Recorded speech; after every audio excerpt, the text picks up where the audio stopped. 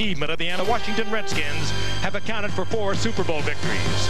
The 49ers last won it four years ago, but they haven't gone past the first round of the playoffs since then. And this year, they're 6 and 5 and struggling for a playoff spot. And Roger Craig, the NFC's leading rusher after 11 weeks. The winner tonight will still be alive in the midst of the playoff picture. The loser will be alive, but barely breathing the Redskins play the MVP and the winner of that award last year, Doug Williams, will be the quarterbacks in a crucial NFC matchup tonight. It's the Washington Redskins and the San Francisco 49ers on ABC's Monday Night Football. Candlestick Park in San Francisco tonight, a key matchup. And the season were to end tonight, it would look like this. Philadelphia would win the NFC East. Chicago would take the Central with 10 and 2, while New Orleans with a two-game lead over the Rams would win the West at 9 and 3. But perhaps more interesting, particularly to the two combatants tonight, would be the wild card contenders. Minnesota would win if it were over tonight. Phoenix would also be the other wild card. Of course, there is the rest of it, the Rams, the Giants, the 49ers, and the Washington Redskins. And these two teams are... Been linked to coaching jobs in, in recent rumors. I asked Bill Walsh last night, who is in his 10th season and has one year remaining on his contract here to coach the 49ers, if he would, in fact, coach the 49ers next season. He was completely non-committal. He wants that controversy. Leadership as a Redskins starter during regular season games, Doug Williams is only four. East, whereas the 49ers with the victory would still be two games back of the New Orleans Saints in the NFC West, but they'd be in a tie for second with the Los Angeles Rams. And they have already beaten the Rams this season in Anaheim with one game remaining here against Los Angeles the last weekend of the year. Mike Cofer, who took over for Ray Wersching. He won the job in training camp. He'll kick off. Ricky Sanders drops back deep for Washington. He's at the goal line. So here we go before a sellout crowd at Candlestick Park in San Francisco. It's the up back taking it at the 11. That's Jamie Morris. And the rookie out of Michigan takes it back to the 24-yard line. And so now Doug Williams, who began the season and started the first three games, underwent an appendectomy, and Mark Rypien took over. Then he came back off IR. Kelvin Bryant is on the inactive list tonight. Timmy Smith starts at running back. Craig McEwen is the H-back. Monk and Clark are the wide receivers, and Donnie Warren is the tight end. And now Joe Caravello has moved in to start at H-back. And there is the offensive line. They're all veterans, but they've been banged up, and they have been moving around. From the 24-yard line, Last year's Super Bowl hero, Timmy Smith, is stopped for no gain. Michael Walter comes up to make the tackle as we take a look at the San Francisco defense. Roberts was shaken up last week, but back in the lineup tonight. Carter having a fine year at nose tackle. As far as the linebackers are concerned, Keena Turner has been placed on injured reserve, and thus the rookie Romanowski starts at right outside backer. Don Griffin is also on the inactive list. McKyer and Wright at the corners. Fuller and Lott are the safeties. Second and 10 from the 24-yard line. And again, it's Timmy Smith. And the crowd is fired up as the Niner defense has stopped him for no gain two plays in a row. And that's Ricky Ellison in his sixth year out of USC making the stop. Al, you touched on something that will impact heavily on the Washington Redskins offense, that Kelvin Bryant is not here. Bad knee, can't go, having a great year. But it changes the entire offensive thinking of the Redskins. He is such a good receiver out of that backfield. And you can fake the run, you can fake the pass with him in there, and when you don't have him in there, well, you get a pretty good eye defensively, defensively of what they are going to do. They'll miss him tonight. Third and nine, Mike Oliphant has come off injured reserve. He's in the backfield, number 25. And they send him out into the pattern along with everybody else. And the pass is caught by Oliphant, who makes a nice move on Cox and takes it to the 41-yard line. So the rookie who was sensational in preseason play, especially in a game against Miami and has just come back off injured reserve, gets a Washington first down. Mike Oliphant had to go on injured reserve because of a hamstring problem, and Al is right. He really caught our eye in a game we did down at Joe Robbie Stadium, and it's because of his ability to come out of the backfield and be a factor in the passing game. This is only the second reception of his entire NFL career. He had one for seven yards going into tonight's game, and he could be the factor they've been missing since Kelvin Bryant has been out of the lineup. Look for Oliphant to play a lot tonight. So they convert a third and nine, and now on first down, Timmy Smith is stopped by Charles Haley. And we have Haley isolated, and what a night he had the last time we saw the 49ers on a Monday in Chicago. Charles Haley, the sack leader on the field tonight with 10 and a half sacks, but I think he illustrates right there that he's more than just a pass rushing specialist. He's come a long way from tiny James Madison. This guy can get after the quarterback. He can disrupt the game. Second and 10 from the 41-yard line. And they keep it on the ground. And a hole for Smith is exploited for a gain of about four. Smith, who burst into prominence last year in postseason play and ran for 204 yards in the Super Bowl, got off to a good start this year, but he's been relatively silent of late. And his average there, 3.2, is very low for a premier running back. The league average is exactly four. So many changes on that offensive line. It's affected everything the Redskins have done, particularly their running game. So many injuries. Third and six. That's Monk in motion. And Williams protected well, throws, and a flag goes down as the catch is made by Monk at the 50. He is short of the first down, but we have a flag as well. And Jerry Seeman heads this crew, and he'll tell us about it. I bet it's Monk pushing off. I think Art Monk pushed off on the play. He was in motion, and when he turned upfield, he visibly pushed off. There's Art Monk, number 81. Watch him as he turns upfield, working against Tory Nixon, and a, a good shot of him actually pushing Nixon backwards. And that flag came flying from the back judge, clear downfield, and that's his responsibility to look at that. Ronnie Lott discussing his options. Well, it'll be short of the first down, the tackle made and stop Monk short of the first down, and that's the option being given Ronnie Lott. But they're going to march him back, it looks like, mm -hmm. Frank.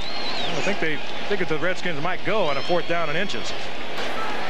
Pass interference, number 81 offense, still third down. So the option the 49ers had was to put Washington in a fourth and less than one or a third and 16. Tory Nixon, uh, I guess, helped his own cause by inadvertently losing his footing and going flat on his backside. That made it extremely obvious what happened. But a calculated gamble here by the 49ers, giving the Redskins another shot at a first down. Third and 16 from the 35. Monk comes in motion. And Williams throws for Oliphant incomplete. And it paid off. And Washington forced to punt. And this has been a real problem area for the Redskins this season. Greg Coleman is their current punter, and he is the fourth different punter the Redskins have utilized this year. They started with Steve Cox and they went to Tommy Barnhardt. He went on injured reserve. He can come back next week and they'll have a decision to make whether to activate him or keep Coleman. John Taylor is back to receive at the 25-yard line. Dave Harbor does the snapping. And a low line drive at the 29. Taylor runs it back to the 45-yard line. A 16-yard return, and the Niners have their first possession near midfield with 10.41 to play in the first quarter. Niners have the football for the first time tonight. And with Joe Montana, the quarterback, Craig and Rathman are the running backs, Rice and Wilson are the wideouts. Ron Heller starts at tight end, though they have activated John Frank, and that could make a big difference down the stretch for the 49ers. Randy Cross, the venerable one, for so long their guard, now their center, anchoring the line.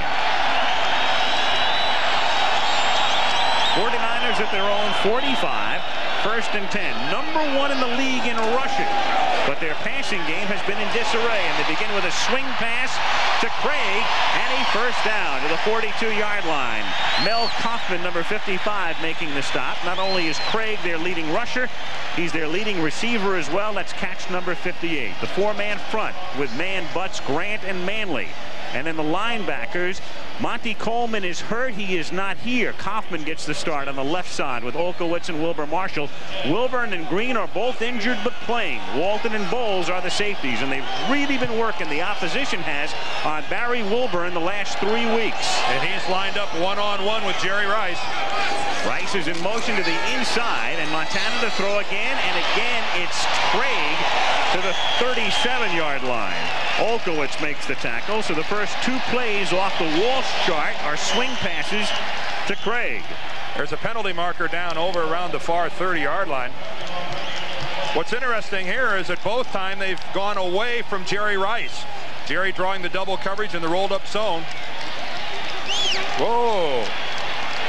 A roughing the quarterback call against the against the Redskins, and it does not please Gibbs. But one thing the 49ers are doing, they're splitting Jerry Rice to the one side of the field. The Redskins are giving Wilburn help.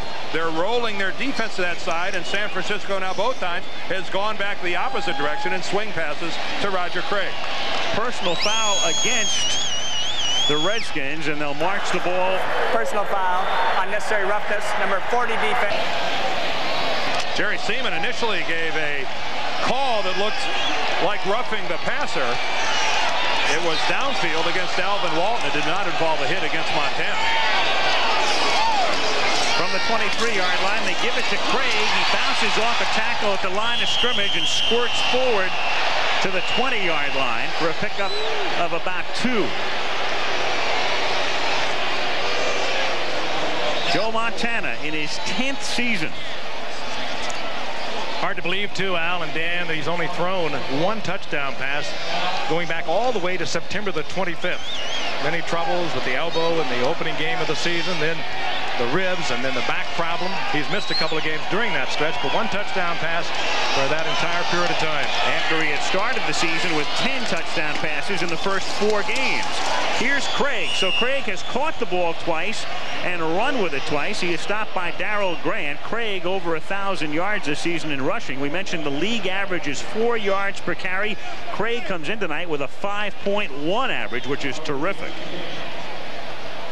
There are running backs maybe like an Eric Dickerson that maybe make your heart rate accelerate a little bit when they get their hands on the football. But I don't know if there's a running back in the game that is more enjoyable to watch once he has the ball under his arm than Roger Craig.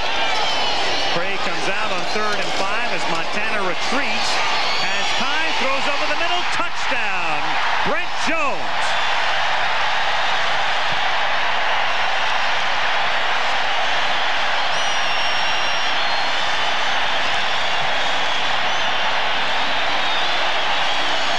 The irony is one of the problems in the 49er passing game has been the lack of a pass-catching tight end because of the injury to John Frank, who's back tonight, but it's the other tight end, Brent Jones, making the catch. Boy, and when you're getting double coverage on the outside and you can hook your tight up, tight end up with Alvin Walton, you've got a good chance of getting him wide open, and that was the case. They were covering outside, two on Wilson and two on Jerry Rice, and they locked up the tight end, Jones, against Walton. Cofer's extra point is good, and as was the case the last time we had the 49ers on a Monday, they take the opening drive in for a touchdown. They did it against Chicago. They do it here against Washington. Montana got the protection up front. It takes a while to run this crossing pattern. Alvin Walton, one step late. Championship game in January of 82 and the 49ers trailing Dallas by six. Joe Montana made what is known in the Bay Area as the throw. Dwight Clark made what is simply known as the catch. Niners beat Dallas, go on to beat Cincinnati in the Super Bowl. And back live at Candlestick Park. It's 7 to nothing San Francisco. Cofer's kick taken by Ricky Sanders. And from the goal line, he brings it back out to the 16-yard line. And their second possession starts from the 16 for the Redskins. Again, the crossing pattern over the middle. And Jones, you can see how far behind Alvin Walton is. Alvin Walton, number 40, one of the best supporting strong safeties in the game. One of the hardest hitters, but his specialty is not being isolated one-on-one -on -one in coverage. And the 49ers waste no time getting after it. Took him five plays, plus the personal foul penalty against Walton from the 17.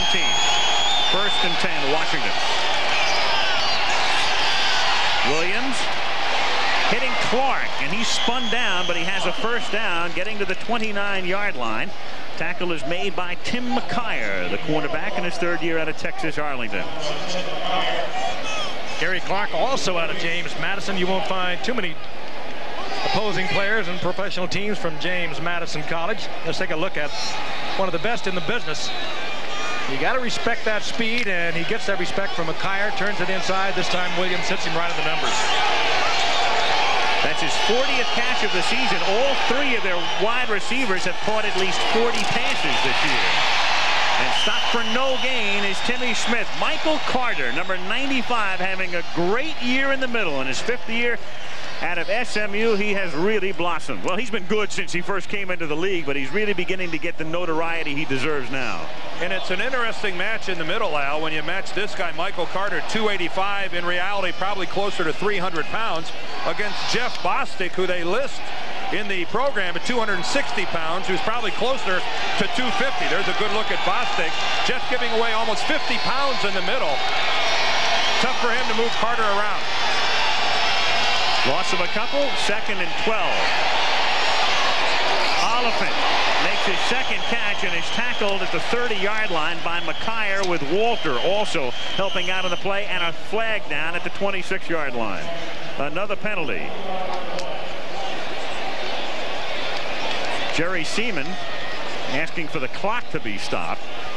6.28 to play in the first quarter, and they may add a few more seconds onto it as he points to the clock. Getting ready to tell us about the penalty. And again, it's against Washington. For illegal procedure. This could be a formation. Joe Gibbs will turn 48 next week. Illegal formation. The left side of the line of scrimmage did not have an eligible receiver. Penalty decline. Third down. Please set the stadium clock to 6:38. Talk about the Please problem. reset the stadium clock.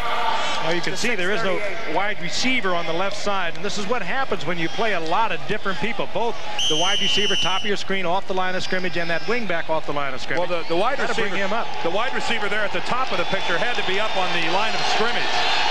This happens when you keep changing people around. The Redskins have been doing it all season long. Third and 10 from the 30. Monk goes in motion. Williams to put it up again. Again, the protection is good, and this is Clark making the catch for a first down up at the 46-yard line. Three premier wide receivers for Williams to choose from. And in reality, Doug Williams, if he has his druthers, will always go to one of those three wide receivers. Much more comfortable working the ball vertically downfield on patterns like this to Gary Clark. And if you're a guy in a red jersey, how do you defense that? Clark on the ground when he makes the reception, the throw perfectly on target, impossible to defend. First and 10 from the 46. San Francisco ahead 7 to nothing. Smith fumbles and recovers it himself back at the 35-yard line. Bill Romanowski dislodged the football. Number 53, the rookie starting in place of the injured Keena Turner. He's a rookie out of Boston College. That play designed to go inside, nothing doing there. Timmy just took it outside on his own, and Romanowski, that rookie from Boston College, knocked the ball from his hands. He's in there because of the injury last week to Keena Turner. Here, Smith reads it to the outside, gets the hand in there, does Romanowski, and Timmy Smith very wisely does not try to pick it up and run with it. He covers it. He loses 10 on the play. Back to the 36. It is second and 20. Pressure on. Screen is set up. It's caught by Don Warren, the tight end, and he moves forward to the 40-yard line. It'll be third down at about 16. And Jeff Bostic is shaken up on the play. And they've had a lot of problems keeping that offensive line together. But he appears to be all right for the moment. They have shifted more people around on that offensive line. I mean, maybe the most famous offensive line of the 80s, the Hogs, but a lot of the same people are there, but they're all in different positions. And if you know anything about the game of football, you know the continuity is maybe more important in the offensive line than anywhere else. On third and 16, Williams under a big rush underthrows Sanders, who almost came back to make the catch. Jeff Fuller that time forced the issue on a safety blitz. And the Redskins in their four wide receivers, they did not have enough people to pick up the safety blitz. And you saw Williams, he was going down. The two wide receivers split to the left. Not enough men to pick up the blitz by Fuller. Now, this, by this time, the ball is in the air. And Williams on the third and long yardage decided I'll just unload it, and it would be, perhaps in his mind, almost like a punt. Well, Ricky Sanders was, uh, you know, arguing that Eric Wright had grabbed him and pulled him backwards, and I don't know that he didn't have a legitimate complaint. I mean, Eric Wright had him by the shoulders, keeping him from working back to the ball. On fourth down, Greg Coleman's second punt is another low kick picked up by Taylor at the 20. He has no blocking and is buried at the 19-yard line. Reggie Branch makes the tackle. It's a second line drive by Coleman. Let's, let's take another look here. Look at the top of the screen. There's Eric Wright, number 21. Look at the left arm pulling Ricky Sanders back. I'm sorry. I, I don't know how that doesn't draw a flag take another look from this angle. Look at Eric Wright with the left arm wrapped all over Ricky Sanders, blatantly dragging him to the ground. But no call. 49ers get it after the punt. Montana escapes the sack, rolls to his right, and throws for a first down to Mike Wilson. An 11-yard pickup. Darrell Green covering on the play. First down, San Francisco. And speaking of Joe Montana, his alma mater, the number one ranked Notre Dame Fighting Irish and the Trojans of USC in the biggest college game of the season. Coming up this Saturday at the Los Angeles Coliseum, 3.30 Eastern Time. Both unbeaten. They've been meeting for so long, and it's the biggest college game in a long time to decide number one. From the 29-yard line, Roger Craig goes nowhere. It'll be second and 10. He is stopped by Darryl Grant. Frank, you've played in that USC UCLA game before. How, how tough is it going to be for the Trojans to come back after the, the Rose Bowl win last week, puts them in the Rose Bowl, and back-to-back -back games of this magnitude? I think they've tried to keep from thinking about Notre Dame, but as soon as that game was over, that was where they were focused. they want a, a bit of problem getting up for that one. They never do, nor does Notre Dame. Second and 10, San Francisco from the 29. Great protection for Montana. And Jerry Rice goes down. The crowd wants a flag. They don't get it. He and Barry Wilburn got tangled up, but no flag. Oh, and Jerry Rice gets up limping, nursing a bad ankle that he injured earlier in the year. Jerry Gray of the Rams pulled him down on a face mask, and it's been hampering him ever since. All right, we're going to end up with Rice and Wilburn ISO'd. A good look at Wilburn going back to the football. And actually, it was after Wilburn fell that he inadvertently fell on the heel of Jerry Rice, and that never is going to draw a flag. Mm -hmm. And of course, Wilburn is playing with a very sore knee. He has been victimized for the last couple of weeks trying to play perhaps before he really should with that sore knee. So you had a bad ankle on the part of Rice going against Wilburn with the bad knee. And right now, Rice goes to the sideline, and that could be a major blow for the 49ers because they have not been getting productivity from their other wide receivers, namely John Taylor and Mike Wilson. And they also have Terry Greer. But quite frankly, there's no one in the league like a healthy Jerry Rice. And it's a step down when you have to bring a Taylor in or a Greer, a considerable step down. In fact, in fact, with Rice going out, they bring Taylor in. He didn't know where to line up, and that, that cost the 49ers a timeout. Oh, and Montana is chewing on Taylor. So they Jerry Rice walking the sidelines now without a limp, and if you've ever had a bad ankle, ever tried to play any kind of a sport on it, you know that it takes a long time to get well. You heard it again over and over, but usually you can go back and compete, and I think we'll see Jerry Rice again. Third and 10 from the 29-yard line. Montana under a heavy rush throws for Craig, and Craig is tackled at the 32 by Clarence Vaughn. And had Craig turned the corner on Vaughn, he might have gone all the way.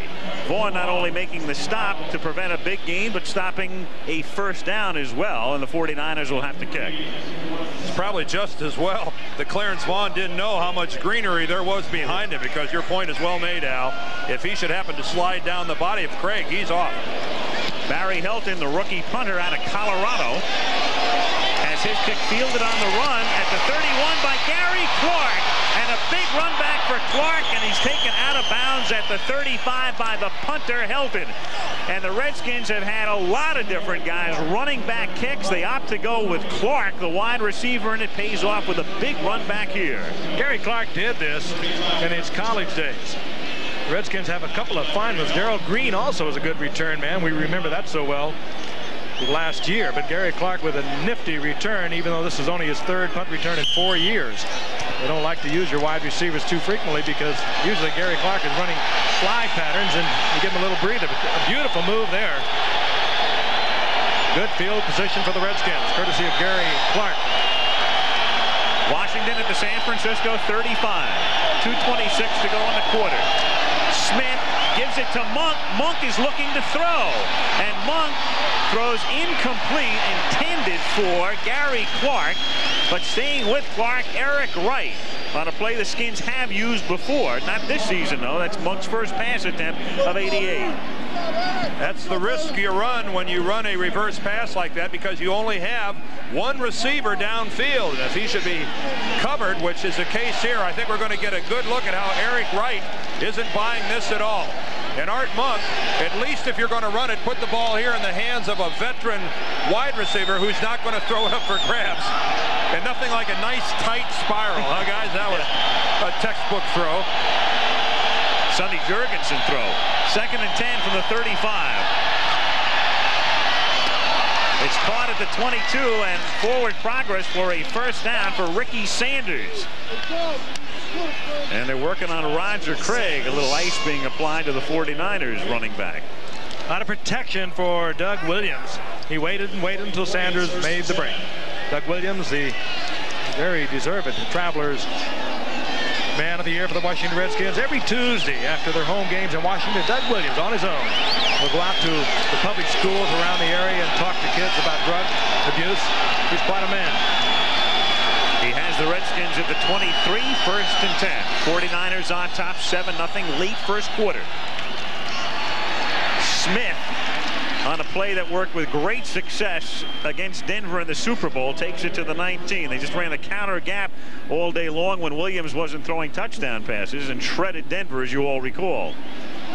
New faces in that offensive line to be running that counter gap, and it has not been as effective, of course, as it was a year ago. But again, we talked about the injuries, the many injuries, the changes. Lachey is now over at left tackle. You got Jacoby. He's just backing up along that line. Unbelievable number of offensive line changes, and that'll give you an idea. On second and six, it's Smith, and he takes it to the 15-yard line. Good hole there, setting up third and about two with Ronnie Lott coming up to make the tackle, and 45 seconds left in the first quarter. There are two of the original Hogs. That's Joe Jacoby, and immediately to his left, camera right, is Russ Grimm. A couple of the original Hogs talking it over there on the sideline. A good look here at the counter gap coming right at you. Take a look at the left guard, left tackle. That's McKenzie, Lachey, and Timmy Smith turning it right up. And hey, how, how's that for support by Ronnie Lott? Having the free safety only two yards off the line of scrimmage in there to make a tackle. Third and two and a half from the 15-yard line. Williams, great protection, wide open over the middle. Sanders for the touchdown. Williams sitting back in the pocket, had all day. Sanders breaks free. And with seven seconds to play in the period, they are an extra point away from tying it. Great effort on the part of Monk to clear that area. Well, Sanders took it downfield, did a little hitch. Plenty of time for Doug Williams. Now watch Monk. The pick, Frank. Watch the pick. pick. well, I call that a great effort. You're a wide receiver. You know that's a great effort. Art Monk. get away with it. Art Monk has the pick. He cleans off Fuller and allows Gary Clark to be wide open. Whoa. And Williams with a lot of time. Again, that offensive line clicking well for the Skins tonight. The rookie Chip Lohmiller's extra point is good. Hey, you got a lot of offensive linemen in this league that don't block as well as Art Monk. You know, you got to make this look good, though. I mean, you can't run down there and just bang into Fuller. You sort of brush, make it look like he sort of ran into you. And it was executed as well as you're going to see it executed and into the end zone is Sanders. Let's take a look at it again. Monk, Monk has been doing this well for a lot of years. Great receiver in his own right now. The idea is to take the man off Sanders. There is the switch by the two defensive backs. No way that Eric Wright can get back and cover his man. And Fuller, of course, is staying with Monk and wide open is Sanders. Well, they catch, you know, give Joe Gibbs credit. He calls that play when he assumes the 49ers are going to be locked in man coverage, and that was he throw the flag. DuBose and Taylor are back to receive Lohmiller's kick. This is Doug DuBose from the seven-yard line. And he's tackled out of the 22-yard line by Terry Orr. The skin, skins were offsides, Al, I believe. A guy, the official threw his flag and it didn't even land on the field. Landed clear Right. over in the bench. It's out of bounds at the 35. that is the call. That's just inexcusable.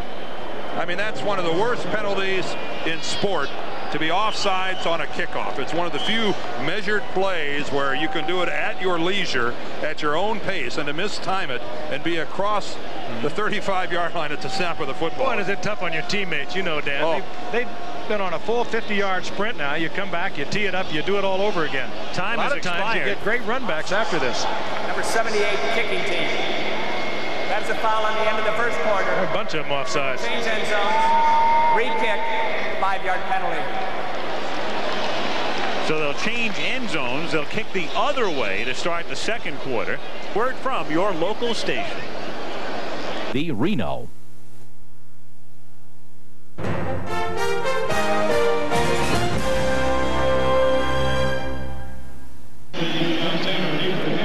From the Goodyear blimp, which has had a busy week uh, above the Rose Bowl on Saturday. And there it is hovering above Candlestick Park tonight and back down south for the USC Notre Dame game at the Coliseum this coming Saturday as we start the second quarter. Lohmiller kicking off to San Francisco. The game tied 7-7. John Taylor brings it back to the 31-yard line, and the 49ers will set up from there as we take a look at the numbers through the first 15 minutes. Numbers close except for the time of possession on the part of the Redskins. Couple of teams very proficient at running the football, three and five yards respectively for the Redskins and the 49ers. Hardly representative of their talents, I would think. 49ers in through 11 games, the leading rushing team in the NFL. Roger Craig sets up split to the left at the top of the screen as Montana looks that way. Throws for Craig too far. He'd gotten behind Wilber Marshall, so they lined Craig up as a wide receiver, and he beat Marshall, but Montana's pass about a yard too far. Tell you the respect they have for Wilber Marshall, the Redskins. They set him out against Craig, one of the fine receivers, either out of the backfield or as a wide receiver, but Craig rolled by him and Montana just off the fingertips. And that's a throw that you don't normally see Joe Montana overthrow. He's got some real touch at dropping that football over the top of a defender. You had to look there at Todd Bowles, number 23, the free safety coming over. He was late on arriving. If that throw's a good one, it's an easy completion. Second and 10, Jerry Rice is back in the game. That's Rice in motion. Montana hits Craig, and Craig is tackled at the 34-yard line. A combination of Mel Kaufman and Neal Olkewicz, the two linebackers making the stop. It'll be third down and six. And again, Kaufman getting the start because of the injury to Monte Coleman, who would normally be their starting outside linebacker, but he's back in Washington and on the inactive list tonight, along with Kelvin Bryant. Kaufman perhaps a better linebacker against the run. Monte Coleman, an excellent linebacker in pass defense. He usually is the linebacker the Redskins leave in there. Of course, he's home watching tonight. Three receivers set to the right on third and six. Montana looks that way, but Mann flushes him out of the pocket. And then the throw is caught at the 41 by Mike Wilson. Very close to a first down. They have to get to the 41 and a half, and we'll see where they spot it. Well, Joe Montana maybe has, and look at that, a first down for the 49ers. This guy, I think, has taken more than his share of criticism as maybe a guy who doesn't have it anymore, but he still has the mobility. Watch Charles Mann here collapse Harris Barton back into the pocket. He forces Joe to improvise, and I think as most of you have figured it out by now, I don't know that there's a quarterback in the game who has done more out of the pocket improvisation for more positive things than Joe Montana. And he goes to the air on first down from the 42 and again goes for Wilson, but this time he is blanketed by Darrell Green. It'll be second and 10. Both cornerbacks, including Darrell Green. We talked about the knee injury of Barry Wilburn, but Darrell Green has been fighting injuries throughout the entire season. He too has a very sore knee. Also a rib problem. And it's tough when you're a defensive back, particularly with a knee injury, because your receiver always knows where he's going to go. And if that thing is a little loose and rattly, it really is tough. Yeah, but I'll take Darrell Green with a bad knee and bad ribs. Both bad knees. He's, he's still better than 95% of the corners in the league. On second and 10, Montana to Jones, and it's incomplete as he gets dislodged from the football by Wilber Marshall. Ball and Marshall get there together, incomplete, third and 10. I guess that's the kind of play that they gave up two number one draft picks to get out of the former Bear, the free agent. And that was very close to a fumble. Sure was. He's stripped it a few times in his life. Let's take a look at it again. Does he have possession? The ball is in there. Here comes Marshall. Hmm. Whoa. Very close to the fumble. From that angle, it, it, it looked like both feet were down, didn't it? Third and 10. Montana hits the open man Taylor for a first down and a lot more and out of bounds at the 36-yard line. The fleet wide receiver in his second year out of Delaware State, John Taylor. First down San Francisco after a 22-yard pickup, and Rice is hurt again. Well, Jerry Rice is downfield trying to block for John Taylor. He's going to come back on Alvin Walton. And Walton's going to end up getting lower than Jerry Rice, and that's how Rice gets hurt. He just gets steamrolled by Alvin Walton. And this is not the knee. They grabbed him quickly, and that's what they would do if he was had the wind knocked out of him. Alvin Walton sends Jerry Rice into the next zip code with that hit. Here it is right here. Now Jerry Rice going to come in from the right. There he is. But look how Walton gets low and hits Rice right in the midsection and sends him backwards. First down at the 36-yard line, and a marker is thrown, a penalty flag because the 45-second clock had run out. Next time he sees Alvin Walton coming down the field. Hey, the trouble they had with their passing game, Rice had 22 touchdown receptions a year ago. He's had one touchdown reception in the last seven games. And he's looking for his first catch tonight, and his injury cost them that delay of game penalty because Wilson was late getting onto the field. And Roger Craig gets hit right away by Darryl Grant, big number 77. Excited about making that tackle. to say the least. That's the way you're supposed to play the game, Darryl. Nothing wrong with that. This game could use a little more emotion, and I'm not talking about just tonight's game, but I like to see emotional football players. And Darryl Grant, right there, fought off his blocker, and that's a textbook tackle of Roger Craig. Get up, get fired up a little bit. Second and 16 from the 42-yard line, and Montana gets tripped up for a sack at the 47. He tripped over, I think, his own man, Steve Wallace, and now Montana clutches his knee. I think if he had not, and it did appear that he hurt his knee or his ankle, he could have got up and run that football. Yeah, because it wasn't a Redskin that sent him to the ground. Steve Wallace, number 74, is trying to block Dexter. He gets driven back in. Let's, well, we've got Dexter. Here we go. That's Wallace working against Manley. Now watch Montana make a break to the inside, and Joe has hurt himself so bad, he's going to have to come out of the ball game. And here is Steve Young, at least for this play. And so Young, who comes in cold, comes in with it third down and 21 from the 47. And the left-hander retreats. Young tremendously mobile takes it to the 35-yard line. He gains 12. Walton and Marshall converge on the tackle. If they're thinking field goal, it would be a 52-yarder as they work on Montana on the near side. That knee, it looked like he could have just banged it right into his own man, Steve Wallace. I'm sure he would have got him. Now, what you get with Steve Young is a totally different dimension. And in effect, he was sort of given this job a few weeks ago when Joe was unable to play. He started game against Minnesota, and while he didn't pass the ball too well, he ran the ball really well. They won that game and then lost the game against Phoenix. And Cofer will set up to kick a 52-yarder. His career long is 44. Helton holds. It is long enough by plenty and good.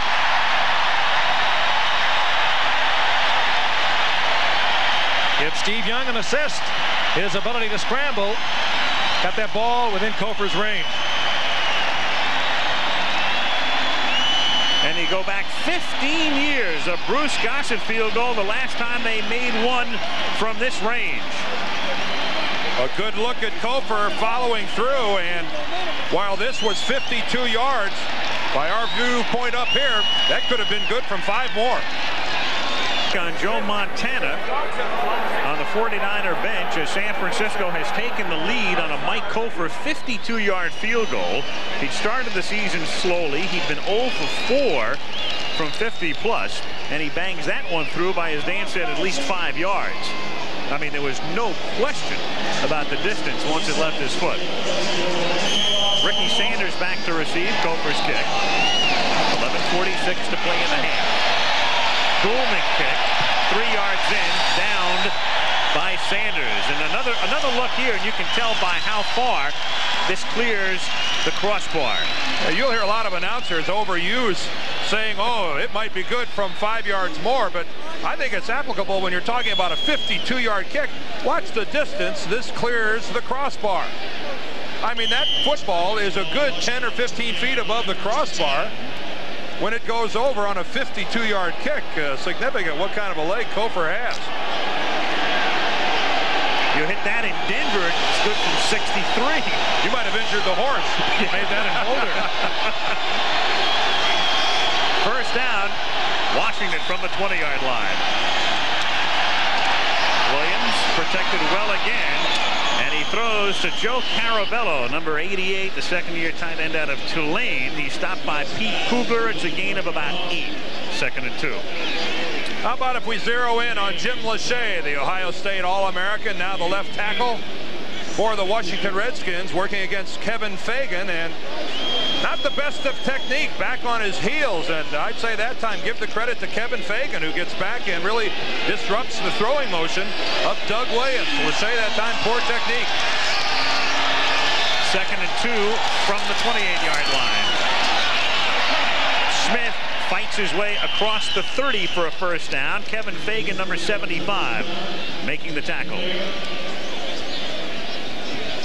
Again, coming into the game, the Redskins, even with a 6 and 5 mark, still just a half game from the lead in the NFC East. There'd be a four-way tie for the top spot in the NFC East.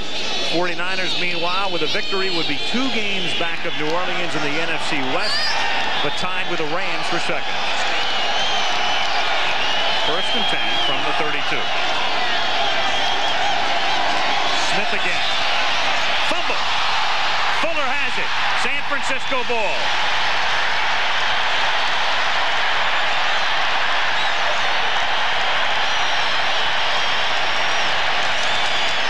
Second time Smith has fumbled. He recovered his earlier one, but this time the 49ers have it in Washington territory. And Joe Gibbs repeatedly, when he describes his team, says, we've been way too charitable. A minus 15 going into this game in the giveaway takeaway. Let's make it minus 16 now as Ricky Ellison gets a hand in there and forces the ball out of Smith's hands. And knowing Joe Gibbs, we might have seen the last of Timmy Smith for a while. And Steve Young stays on the quarterback for the 49ers. From the 37-yard line, Young gets knocked down and sacked back at the 45-yard line. Pushing through, beginning the charge, was Darryl Grant, who's having a big half. Takeaway giveaway, Dan referring to it, now minus 16. It's amazing when you think about it. for 18 seasons, 70 through 87. There they were, tops in the league at a plus 123, and this year, unbelievably, minus 16. When you're minus 16, normally your team at this point in the year is 3 and 8. Yesterday, when Gibbs talks about a running back, uh, one of his compliments always when he winds up a synopsis of the running back skills, say, and he doesn't turn it over. Second and 16. And this is Craig fighting his way to the 37-yard line. To further put that giveaway takeaway into perspective, the only teams with worse figures in that department would be Dallas and Tampa Bay, and you know where they are in the standings. And if you want to take it a step further, think back to the Redskins and their Super Bowl championship season of 82. They were plus 42 in the giveaway takeaway, and I brought that up to Joe Gibbs yesterday, and he said, yeah, but I had a running back who never put the ball on the ground. And, of course, he was referring to John Riggins. And, of course, that was a strike-shortened season. But plus 42, an amazing number. Third and 10, and Procedure whistle. call. Yep, it wasn't for delay.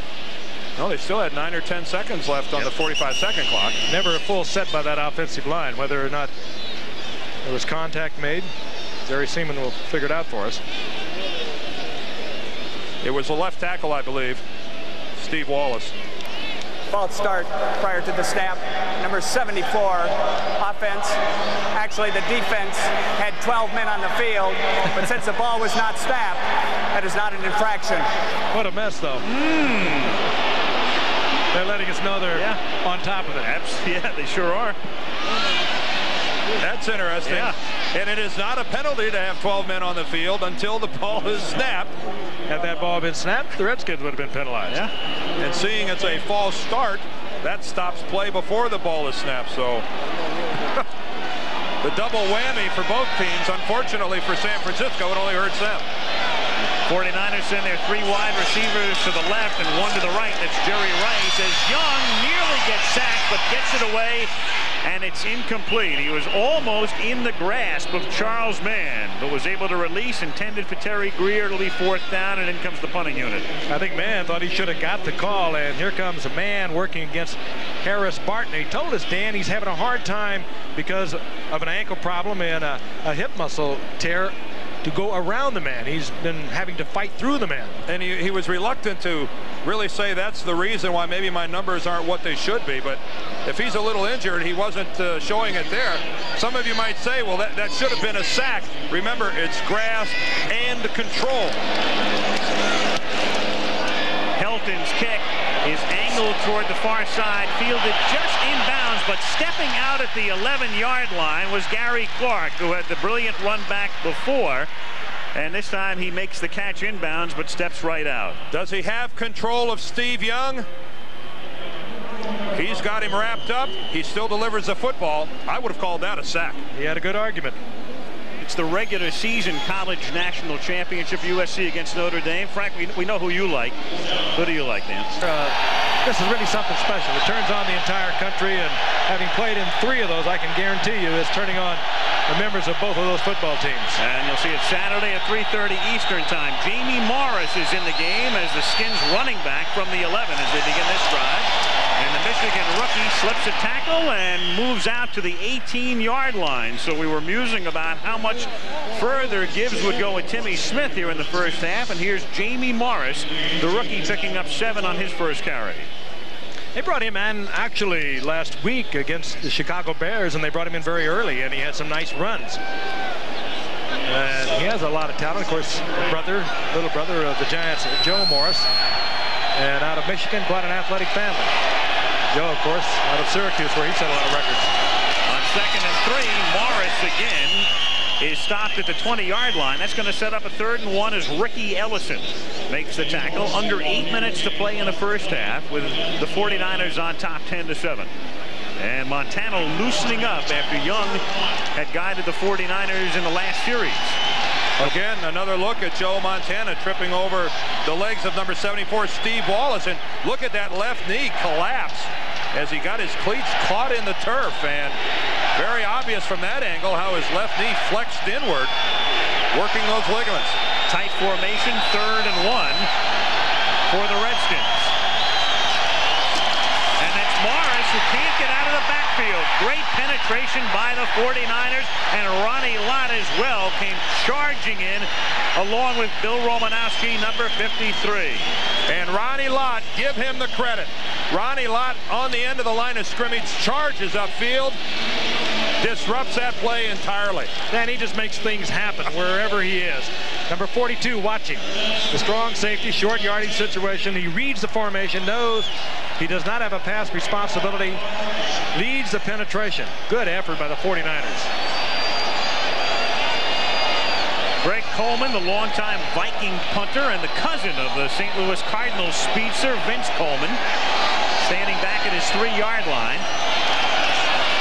Taylor to accept the kick, and it's another low kick. Taylor on the run at the 50. Brings it back to the 43, fumbles the football, but the play was dead at the 47. Oh. Ball came out after his knee hit the ground. He was hit by Reggie Branch. It'll still be San Francisco's football, just barely. Well, you would think this might be worth another look, huh? Possibly. you might get another look here, too. It was very close. Cue it up and roll it. Well, the question now is going to be, where does John Taylor lose the football? He still has it. He still has it. There's Reggie Branch. And there it goes, but it looked like the knee was on the ground when it went out. By Ronnie Lott of the 49ers, who, while in the grasp of a Dolphin opponent, throws a lateral pass to teammate Tom Holmoe, who then advances for an apparent touchdown. Now you make the call. Is this a touchdown? I got it. Now people who work at home can get a great deal on an IBM. Since Lott was moving forward as he threw the lateral, this is a legal play, and the receiver is allowed to advance, in this case for a touchdown. This very closely. I was wrong. His knee is not quite on the ground when you can see the ball coming out. So technically, as we're back with Roger Craig. And Craig with a first down to the 32-yard line and a penalty marker at the 38-yard line. Let me get back to that. Technically, when you watch it in slow motion like that, you can say that's a fumble. The problem is that's not even subject to review because the whistle blew. The whistle blew by the official that called it down, thus ending the play. So it's not even subject to review because where do you go from there? The whistle blew and it stopped the play. Meanwhile, the 49ers assessed for a holding call on Bruce Collie, and that's really been a bugaboo for the 49ers in the past month or so. Holding calls from the interior linemen. And the most penalized team, fourth most penalized team in the league, and this totally uncharacteristic of the 49ers. That, I think, is their 21st holding call. Last time we saw these two teams on a Monday night as Montana's reduced to sending in the signals here, the 49ers picked up 14 penalties in a game in Washington. Young firing too high for Rice, intercepted by Walton. Penalty marker is down back upfield, and Walton goes down at the 42-yard line. So an interception and I think a holding call coming up against Harris Barton of San Francisco, which would mean the interception would stand. Dexter Manley getting a little pressure on Young there also. Holding, number 77 offense, penalty decline. First down. It's going to be on Paris. It's Bubba Paris, I think, tackles Dexter Manley. Manley's going to use a straight upfield rush, but he gets the corner on Bubba and watch him just drag him to the ground here. Well, actually, tries to get his arm out of the way, but once you're in that position, I'm afraid that it's a little too awkward. It's going to bring the flag from the sideline. And this ball, Frank, just floats on Steve Young. Steve Young really has had a problem with the passing game. His efforts for the 49ers, the positive ones, have been on the ground running it. First and 10 Redskins from their own 42-yard line. They trail by three. Morris, nowhere to go. Absolutely nowhere. Haley in amongst those making the tackle with five and a half minutes to play in the first half. And the 49ers leading Washington 10 to 7. Steve Young in the win over Minnesota had 72 yards rushing on that day. And you probably recall the one spectacular touchdown run that he had in that win. But he has had problems with the passing game. I'll tell you what I'm impressed with right now, the way the 49ers are playing the Redskin rushing attack. Look at this, less than a yard per carry. Boy, give credit to the 49ers defensively. They're just they're just plain stuffing the Redskins. And Washington has been stuffed two of the last three weeks as far as their running game is concerned. Williams hits Monk, and Lott rides him out of bounds up at the 47-yard line. They'll be about six yards short of the first down with a third down play upcoming. Last week against the Bears, the Redskins running game, which has earned so much respect over the years, gained 28 yards against the Chicago Bears. Well, I, I throw that one to the wind. Because when's the last time you remember anybody running the ball against the Chicago right, let's Bears? back it up another week to Houston. That one you can't throw to the wind. Houston no. just beat them up. But the Bears beat everybody up. Third and six from the 47.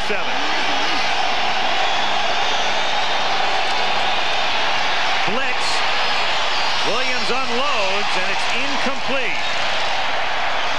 Safety blitz by Greg Cox, who was in in the dime defense that time, and Williams forced to release early, incomplete, intended for Gary Clark. And good coverage by McKyer. He is right with Clark all the way. All in all, though, a good throw by Doug Williams under a lot of pressure. This ball is very close to being caught by Gary Clark.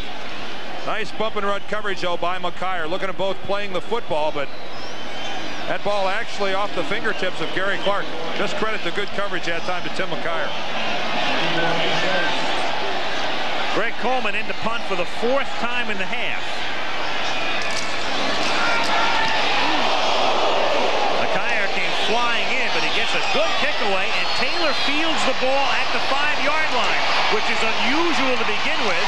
Not recommended, however, he breaks from the pack, Goodbye. and he has blocking. Taylor all alone is going to go all the way. 95 yards, touchdown. No flags. Uh, so much about being in the wrong formation a while ago. That'll offset it. Second time he's run a punt back for a touchdown this season. The other was a gem as well, 77 yards. The 49ers will say tremendous individual effort. The Redskins will blame missed tackles. There's one right there. Clarence Vaughn misses. There's another miss, I believe, by Orr. But give John Taylor credit. Disorganized in the beginning. 95 yards. He is almost broken a couple of others, and that'll be a new 49er record that's got to go back to the 50s because it belonged to Hugh McElhenny. McElhenny once ran one back 94 yards. Cofer's extra point is good, and Candlestick Park has erupted with 4.24 remaining in the first half. I remember seeing that one of McElhenny's. It went about 150 yards, covering 94, but Taylor with great moves. And you're right, Dan. There were so many missed tackles. And, boy, when they review this, because Joe Gibbs is a special teams freak.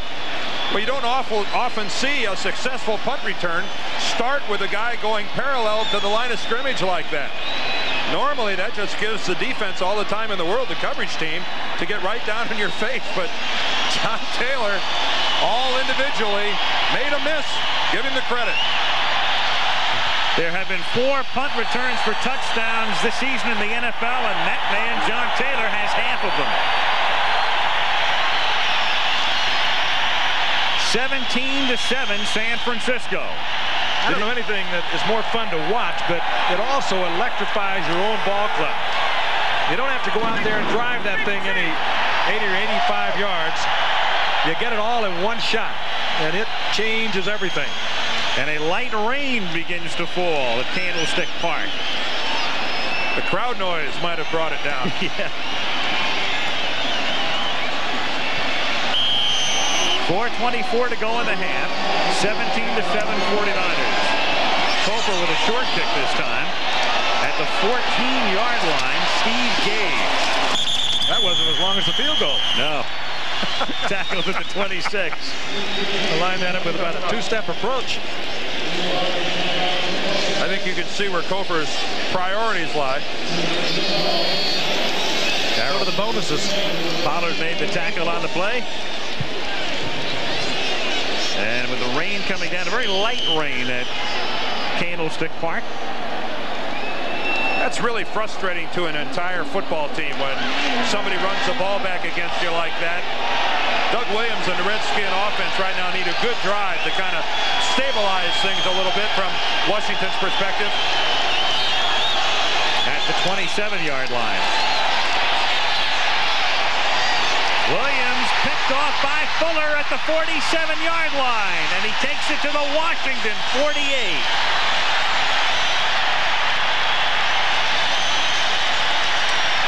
A nice, a nice catch that time by Fuller on the ground, but I really have to wonder what Doug Williams could have possibly been looking at to go ahead and release that football.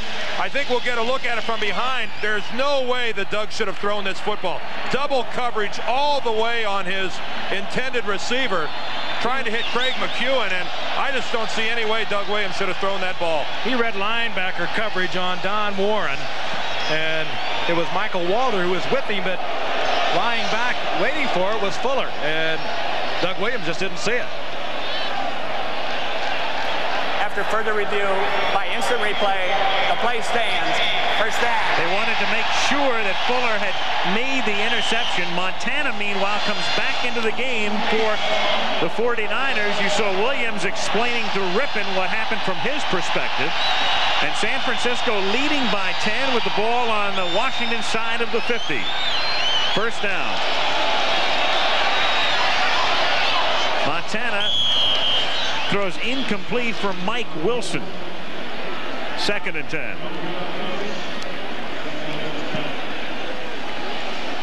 So the 49ers in control right now with 4.02 to play in the first half. Well, you have to know, too, that you know Bill Walsh, you know Joe Montana's mentality. They like to, when they get you down, they like to go for the juggler, and you wouldn't be surprised if they don't try to go up on top to Rice. Here's Craig going to the outside, turns the corner, and Roger Craig close to a first down. He's short of it by about a yard and a half. He followed Jeff Bregel, number 65, second-year guard out of Southern California. He led the charge. Craig takes it to the 40. It'll be third down and about a yard and a half with Young now signaling in the plays to Montana. I guess it's tough for me to let it go as an old offensive lineman, but I love to watch a back that knows how to set up his blockers.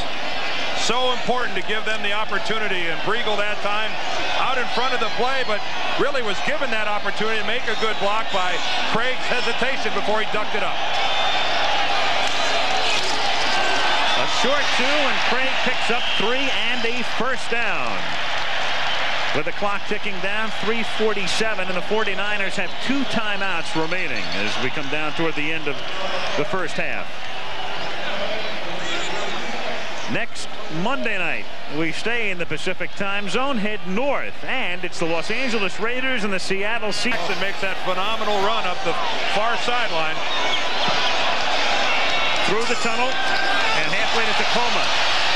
Flag goes down. Two flags go down. Separate instances, one on the line and one in the backfield. Dexter Manley came charging across. That'll be one flag, and we'll see about the other one. I think the other one's going to be Harris Barton for tackling Charles Mann. Should be offsetting here. Or somebody Holding, put... number 79 offense, Yeah. offside, number 72 defense, offsetting penalties, repeat first down. So many times Manley tries to guess with the count. He'll time it, time it, time it, and figure that he's got the rhythm down of the quarterback because they develop a rhythm when they give you the snap number. And here's the other foul. Harris Barton gets beat to the inside by Charles Mann, and pretty good open field tackle. Beautiful. Bulldogging the left leg of Mann and dragging him to the ground. Some kind of athlete, Charles Mann. Give him two ears and a tail for that one. But don't call him Charlie. From the 36, Montana hits Rathman, and he takes it to the 29-yard line. That's a pickup of seven. It'll be second down and three. Mel Kaufman makes the stop. Under three minutes now left in the half. And this is that point in a football game and at that point on a football field where someone from the Redskins has to make a big play defensively. The 49ers in control right now, up by 10 points. The Redskins offensively make a mistake, and it's up to these guys now to make something happen. If they don't, going to the locker room at halftime down by 17. Unattractive. On second and three, goes to the outside where Rice makes his first catch and goes out of bounds after picking up a first down. Tackled by Wilburn at the 17. And that has just got to come down from up above because Wilburn, with that sore knee, is laying so far off of Rice. Wilburn, at least five, six, seven yards off Rice. Now, you really can't blame him, but he has got so much respect. But more than respect, the knee is still not all the way back. And a knee injury to a defensive back, I mean, it is really tough. How about Alvin Walton? He comes after Jerry Rice on every play. It's a good thing Rice got to the ground in a hurry here. Alvin Walton was looking to take his head off. At the 16, Roger Craig takes it to the 15-yard line for a gain of one. Bill Walsh will watch his team right now with the two-minute warning approaching. Come up with a second down and nine. They lead by 10, and the clock will run down to the two-minute warning in San Francisco. 49ers on top, 17 to 7 performance in Seattle. Next week, he returns to the Kingdom as the Raiders meet the Seahawks on ABC's Monday Night Football. Al Michaels, Frank Gifford, and Dan Dierdorf. Late first half, two minutes to go. 49ers have the ball and a 10-point lead. It's second and nine at the Washington 15. Joe Montana, great protection, throws underneath. It's caught at the eight and taken to the four by Jerry Rice for a first and goal. And the Niners can do a couple of things here. Seek to move into the end zone and also try to take as much time as they can off the clock. And I think a key for the 49ers here as they run crossing patterns, keep in mind how long a crossing pattern takes to develop. And on the plays when they seem to have the crossing patterns called, the Redskins aren't getting any serious pressure on Montana. First and goal in a minute 25, and Craig is stopped short of the goal line. He's inside the one. He is stopped by Darrell Green. It's second down and goal now. And as I say, the 49ers here have two timeouts, but they're going to let the clock run down, try to get in the end zone and leave Washington with no time. And that's smart football. Smart football. Don't give the Redskins an opportunity to score. You still have some timeouts at your disposal. You don't need many downs to get it in from there, hopefully, if you're a 49er fan. Sole setback here is Rathman. And they give it to him. And Rathman is in for the touchdown.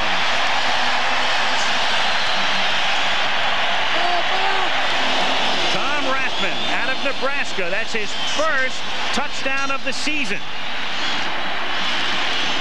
And he handles the ball a lot. He had 79 rushes and 32 receptions coming into the game. He's a short yardage specialist, but that's the first time he's seen the end zone this year. And I'll tell you what else is impressive about Rathman now. The guy's got a four and a half yard per carry average, which is extremely high for a guy that's predominantly a, a blocking back for Craig. And they blew another opening in that Redskin defensive line. Went right behind his 13-year veteran center, Randy Cross. Helton puts it down for Cofer. His extra point is good. And a flag is down. With 40 seconds to play in the half, Skins have all of their timeouts when they get the ball back. Jerry Might have Seeman. to do this again tripping, number 74 offense. Repeat, extra point, 10-yard penalty.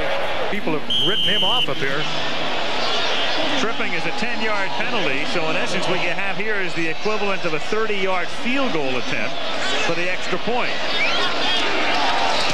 And it's blocked. So the penalty does make a difference. And the score remains 23 to 7. And it could have been Wilburn who burst through. Barry Wilburn, watch him come up out of there with his hand up in the air. He sure gave the impression to everyone here at Candlestick that he's the guy that blocked it, blocked it. But give that credit to this guy, Wilber Marshall. What an athlete. He really didn't get any penetration on the play. He really just got it by jumping up at the line of scrimmage, which leads you to believe that the kick was relatively low. Well, earlier in that touchdown pass to Jones by the part of the 49ers, Montana just did get it over the hands of Wilber Marshall. Meanwhile, for his kick is a bouncing kick And it turns out to be a good one. It's Sanders back at the one. And DuBose catches him from behind out at the 15-yard line. Another marker is down. 34 seconds to play. And again, the Skins with all three timeouts. And this one will go against Washington, so it's going to pin them further back. Also at halftime, we'll be talking to a couple of key combatants in that game coming up Saturday, Notre Dame and USC. I think I saw Terry Orr here making a block from behind. Illegal block during the return. Number 87 receiving team. They're down by 16. They're at the six. First and 10.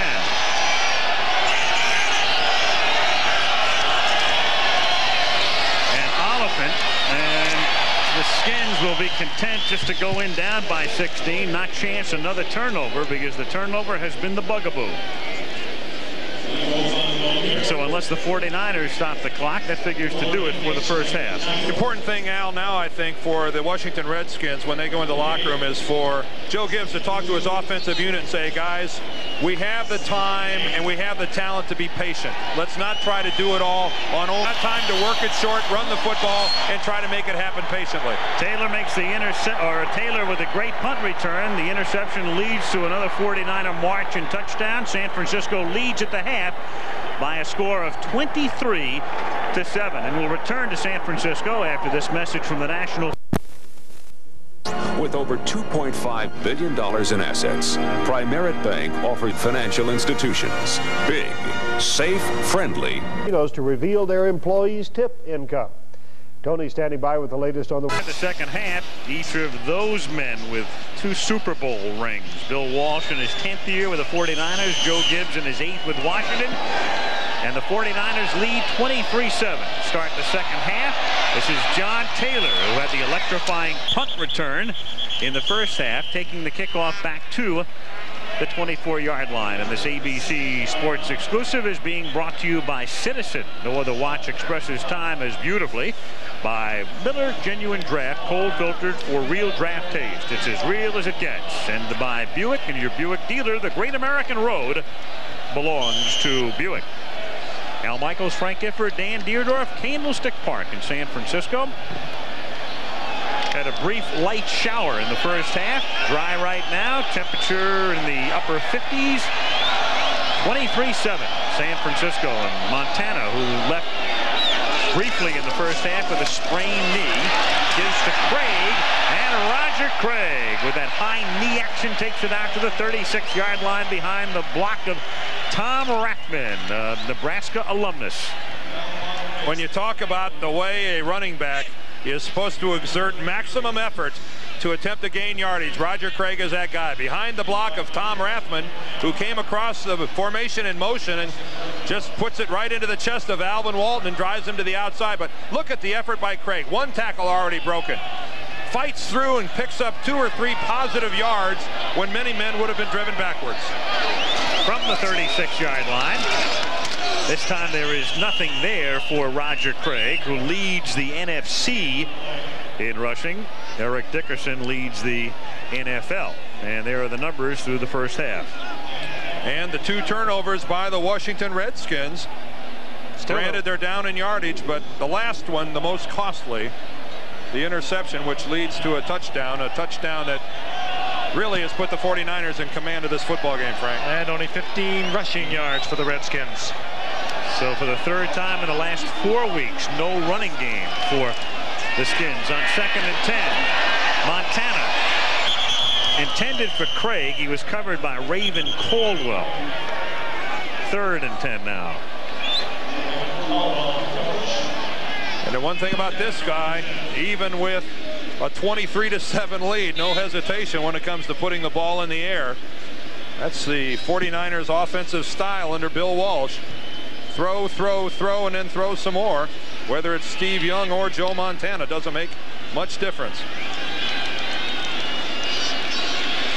Montana, according to the NFL's complicated rating system, the all-time leader in pass rating. As he throws to Craig, wide open in front of Craig.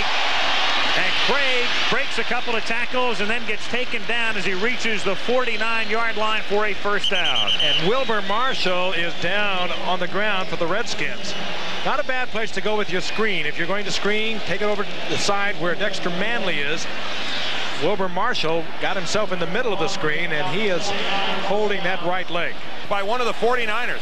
Let's see if we can pick it up. It might be Randy Cross, the center, who came out and is going to put Wilber Marshall on the ground. We're not going to see it from this angle. But I think it's Randy Cross who gets the block on Wilbur Marshall, and that explains why Craig is so wide open, flaring out of the backfield. And you saw Manley take it to the inside. Marshall would have got position, but he also was inside. Look at the 35-yard line. There's the block right there by Randy Cross, who actually leg whips Wilber Marshall. Marshall going to jump behind. Watch Cross get by him and then leg whip back. Keep an eye on his legs. Wilber Marshall is going to move behind the blocker, and there it comes. There comes the leg up in the air. It's a more of an instinctive reaction by an offensive. Very close to being downfield. I would think so. I mean, Cross, Cross. is that kind of guy. Yes, you know, Randy is. Cross, uh, there's no classier guy in the NFL. No, it's, and believe me when I tell you, that really is an instinctive type of reaction. You find yourself out in space, you don't feel contact with the guy you're trying to block, so you do everything you can do to put the man on the ground. Marshall gets a lot of it because he is, of his ability and his agility. He's always moving away from the block. From the 49-yard line, Montana throws an incomplete intended for Ron Heller, the tight end. It'll be second and 10. By the way, if you're wondering about Cross's block, is it legal or illegal? It is illegal. It's illegal to leg whip someone like that, and if an official would have seen it, it would have drawn a flag and negated that gain by Roger Craig. Cross anchoring the line. Randy, the longtime guard, now the center for the 49ers in his 13th year out of UCLA. Second down 10 from the 49-yard line. Montana, Craig wide open. Takes it at the 30, gets inside the 20. Flag is down. He's tackled at the 14, but there's a flag in the backfield at the 40. That's going to be a hold, and they're going to bring it back. And there goes a 37-yard gain.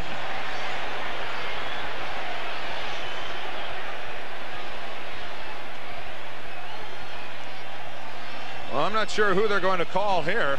I guess Jerry Seeman will tell us. Illegal hands to the face. Number 61 offense. Still second down. Jesse Sapolu. Well, Sapolu will be lined up across from Darryl Grant. And not a hold. That's an illegal hand to the face. If we can get the same situation, I know Bill Walsh will come back with that. That was an, just another pick play. And again, very effective. Bringing Craig underneath. Rice coming down and in. 47-yard swing, 37-yard gain into a 10-yard loss. Second and 20. And the pass is caught at the 20, at the 45-yard line by Doug DuBose, a running back who was split out in this formation. Doug DuBose out of Nebraska bobbling it and then holding on, making his sixth catch of the season. He stopped at first and then he caught it. Let's take a look at it again. Montana looking deep, spots DuBose. He's the open man. Yeah, there it is, concentration, and he comes down with it. Darrell Green makes a hit and really jars the ball loose. Not much else Green could have done. Fabulous concentration, though, by DuBose. Third and 15, two receivers to the left and two to the right, and they send Rathman out into the pattern as well. And Montana hits Rathman at the 50, but he's well short of the first down. Kurt Gouveia was over the middle covering him. And so from midfield, the 49ers will have to kick the ball away with 11 minutes and 5 seconds to play in the third quarter.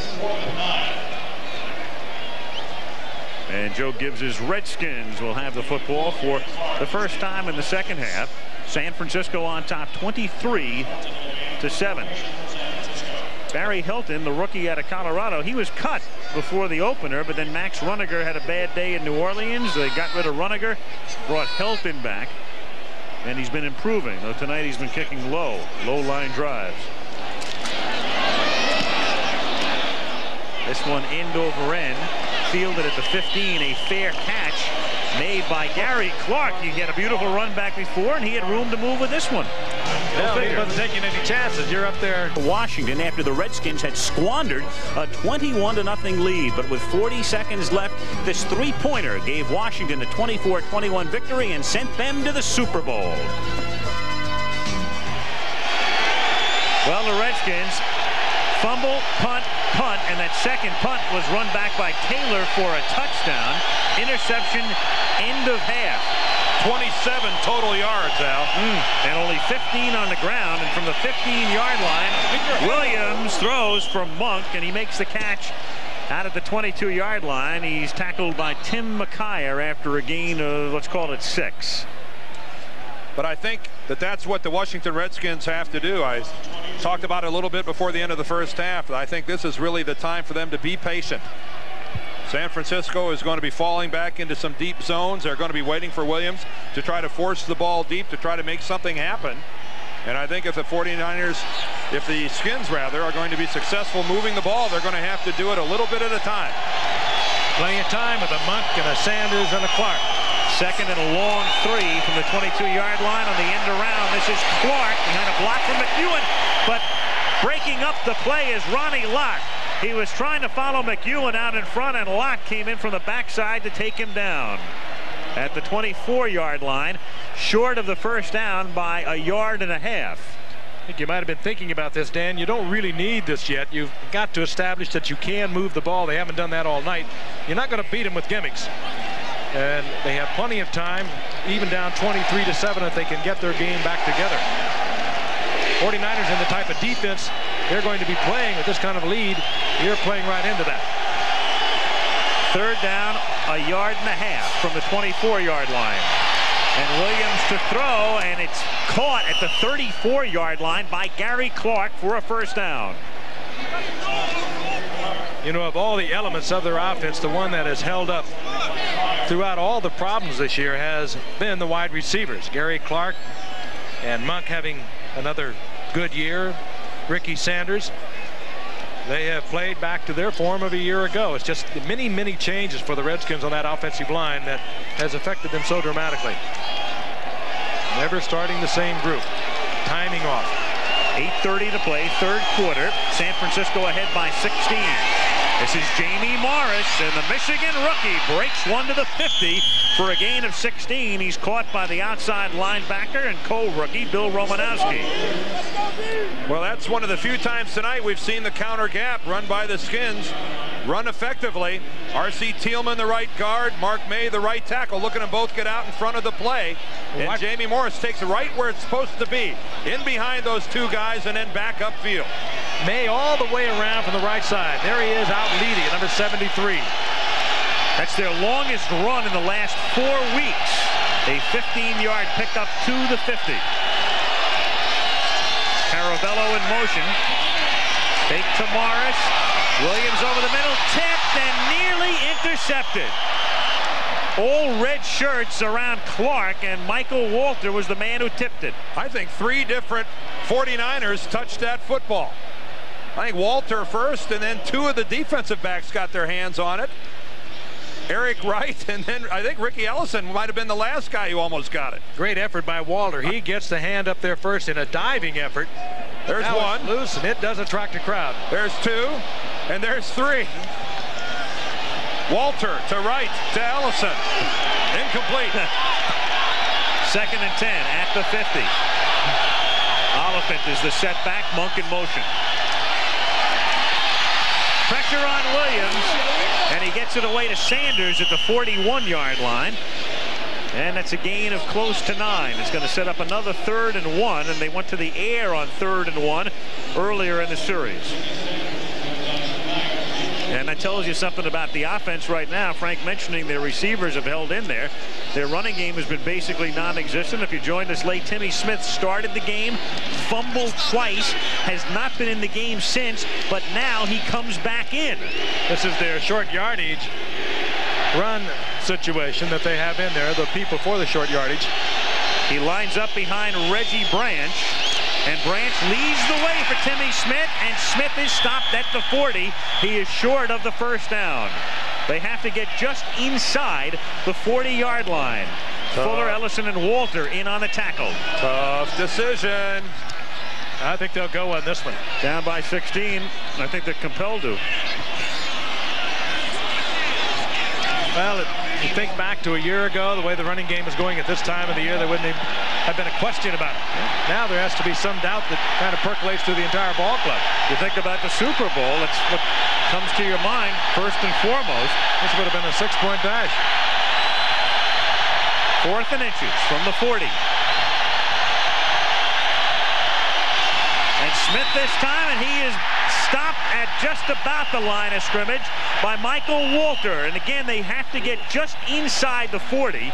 If he puts the nose of the ball on the 40 or outside, they do not have the first down. It's going to take a great spot for the Redskins to get a first down. I don't think they made it. What a superlative play on the line of scrimmage by the entire front wall of the 49ers. And it is going to be close. They put the ball right on the stripe. The nose of the ball is on the stripe. The stick appears to be just, as I say, inside the 40-yard line. So with a naked eye, it would say San Francisco ball. And they're going to bring the sticks in to make it official. 49er defense has not been the problem this year. They played great defense. Fifth overall in the league coming into tonight.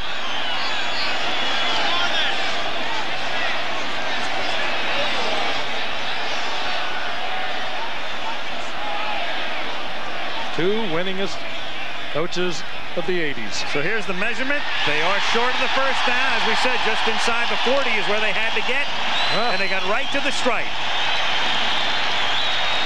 You know how that hurts.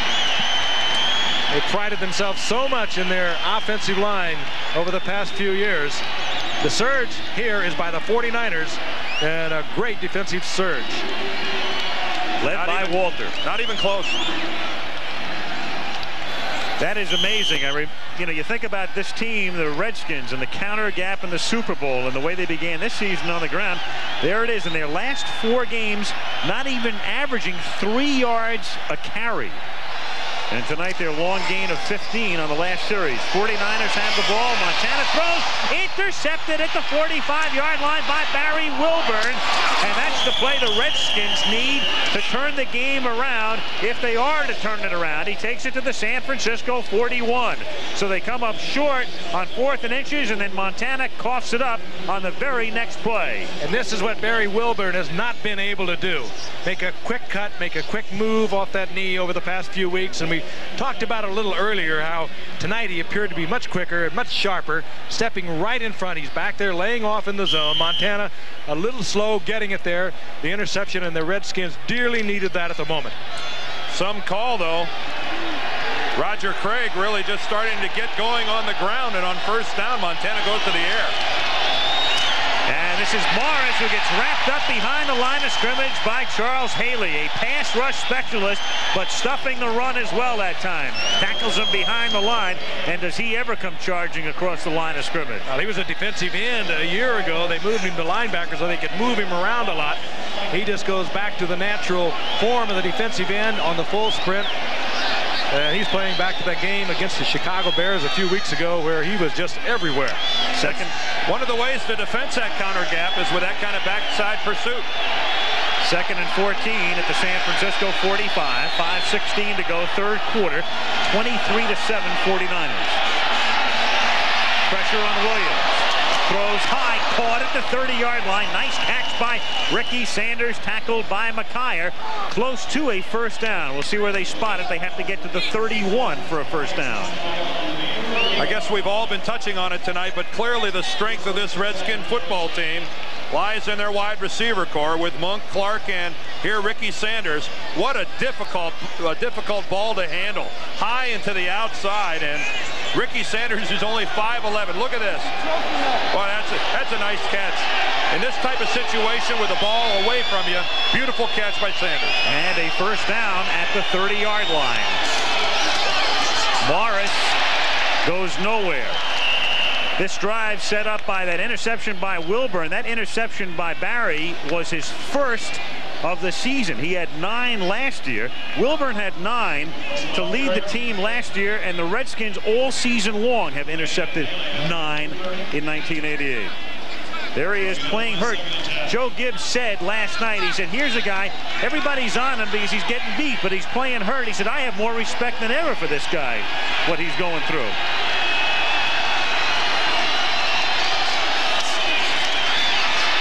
Williams retreats on second and 10, hits Monk. He sidesteps Romanowski, moves to the outside and gains nine. Tackled by Eric Wright. Art Monk. Again, Williams under pressure as he was a few moments ago, and he had to fire the ball. And Monk, like Sanders, the play before comes up with a fine catch. Monk, a former running back, once he gets it, he's dangerous to go all the way. But again, Williams under a lot of pressure, throws a little bit behind. Good move by Monk tries to get behind Sanders for the block and does come up very close to the first down. And third and one, they come up in a run formation in tight as they send Monk and Clark out of the game. They move Branch in as the fullback to lead the way for Jamie Morris. And they give it to Jamie Morris. And Morris runs into a stack in the middle, and he is short of the first down and flags all over the joint. Same short yardage play that they ran on fourth down a while ago that missed. And this could be a critical error if this is a face mask penalty against San Francisco because no way did Morris have the yardage for a first down. Face mask, five-yard penalty, first down. Oh, does he hate those penalties? Whoa. And this year the 49ers are just collecting them. They, they can't even figure out why. This would have brought up another fourth down situation. That's Riki Ellison, number 50, and there's no obvious that he's got, no question rather, that he's got his hand on. He keeps it on there. And frankly, I don't see where that's a five yard. When you keep it on there that long, that should be the 15 yard variety. It could have been a half the distance especially in slow motion. First down from the 15. Williams, he's got McEwen open and through his hands. Craig McEwen had broken free. He'd gotten by Jeff Fuller. And the pass may have led him a little too much, but it appeared that he could have had it. Craig McEwen is ha having a good year. Again, there is a safety blitz on. Bottom of your screen, McKyer coming, and it leaves McEwen all alone with Fuller. He's got him beat, and Doug Williams is just off the fingertips with it. Could have laid that up, perhaps. A little better than that. Had the man beat, had him beat solid. Second and 10 at the 15. 2.34 to go, third quarter. Keep it on the ground, running it inside is Oliphant, just off injured reserve. He goes to the nine-yard line. The rookie out of Puget Sound is stopped by Ronnie Lott, bringing up a critical third down and about four now from the nine. Very talented rookie also that's been on injured reserve. We talked about it earlier in the game. Good receiver out of the backfield. We watched him against Miami in preseason when he had six receptions and picked up a couple of touchdowns. Fourth round draft pick out of Puget Sound. Monk and Clark both come to the right. Third and four. Oliphant in the backfield. 49ers show blitz. Here they come. And the pass is incomplete. Intended for Clark because the pressure was on Williams. And again, from the defensive backfield came Greg Cox, who broke up an earlier play as well. Cox and also Pierce Holt came charging through. Doug Williams very slow getting up. No way the Redskins had enough men to pick up the blitz, which was so obvious. Doug did the right thing to get rid of it. But they just did not have enough men to block out that blitz. And now Chip Lohmiller, the rookie out of Minnesota, who got off to a staggering start this year, attempting a 27-yard field goal. Get said last night, I knew it would be tough to replace Mark Moseley. I didn't think it would be this tough. Oh, another flag. Yep, after the kick. As Darryl Pollard came in and made contact. And we're, we're let's see, because it's going to be fourth down and four if it's against San Francisco, and it figures to be. Oh, it's we'll see if they want to take the points off the board or not. Otherwise, they could have a first down. Al, it's going to be running into the kicker. So there's now, no, there no, there's no question that it's running into the kicker. Now the question becomes, do you want to take the three or do you want a first down? Oh. And it's, oh. they're down by, well, it's 23-7. If they want to take the points off the board, they may opt for the first down. Oh, there's no question. You got to take Oh, the yeah. first down. And there was no question the man of Joe Gibbs. He held that finger up number first down. 26 defense. It's a five-yard penalty. It made the first down. First down. Gibbs didn't even hesitate. He held up that one finger. First down. Down by 16, you got to take the points off the board and go for seven. Watch the bottom of your screen. The block's going to come. I mean, they're running into the kicker from the bottom. Pollard right there just makes contact, and you just cannot run into the kicker. I mean, it's and that's really inexcusable because he wasn't even in an awkward position off his feet or anything like that. If they'd taken the field goal, they still would have needed two touchdowns. This way, if they score a touchdown, they would need a touchdown and a field goal to take the lead. First things first, though, on first and goal. Williams throwing, and it's caught after Sanders juggled it. He catches it for the touchdown. That was almost an incompletion. Sanders, juggling the football, was able to get it into his grasp before he stepped out of bounds. A good read by Doug Williams and a fine pass. Ricky Sanders that time coming in motion all the way across the backfield. Forces the secondary to run with him, and your hope is that somebody gets caught up in traffic. See Sanders there to the left coming in motion, and that's exactly what happened. One guy has to track him all the way across the backfield. I think it's Tim McKyer, and he's not able to do it. He ends up making contact with one of his own teammates. Four-point error on the special teams. Sanders, two touchdowns tonight. His ninth touchdown reception of the season. Lohmiller kicks the extra point. So now they need a touchdown and a field goal. After the key penalty on Pollard, it's 23 to 14 and capitalizing after the interception by Wilburn. And then after they'd made the field goal, the penalty on Pollard gave them the first down and they're able to take three off the board and put seven on instead to get to within nine. And the rain coming down again, a light rain in San Francisco. As you look up at the Goodyear blip. And now the kickoff from Lohmiller. Taken at the two-yard line. This is Doug DuBose. He begins to slip and is tackled at the 15 by Dean Hamel. And we have one minute 27 seconds remaining in the third quarter at Candlestick Park in San Francisco before a crowd of 59,268. 49ers with the ball leading 23 to 14. 49ers have seen a 16-point lead drop down to nine, and they know all about squandering leads. It was only two weeks ago. They led Phoenix 23 to nothing, and the Cardinals came back to win it 24-23. Roger Craig takes it out to the 20-yard line. That's a gain of five. Mel Kaufman, number 55, in on the stop. It'll be second and five.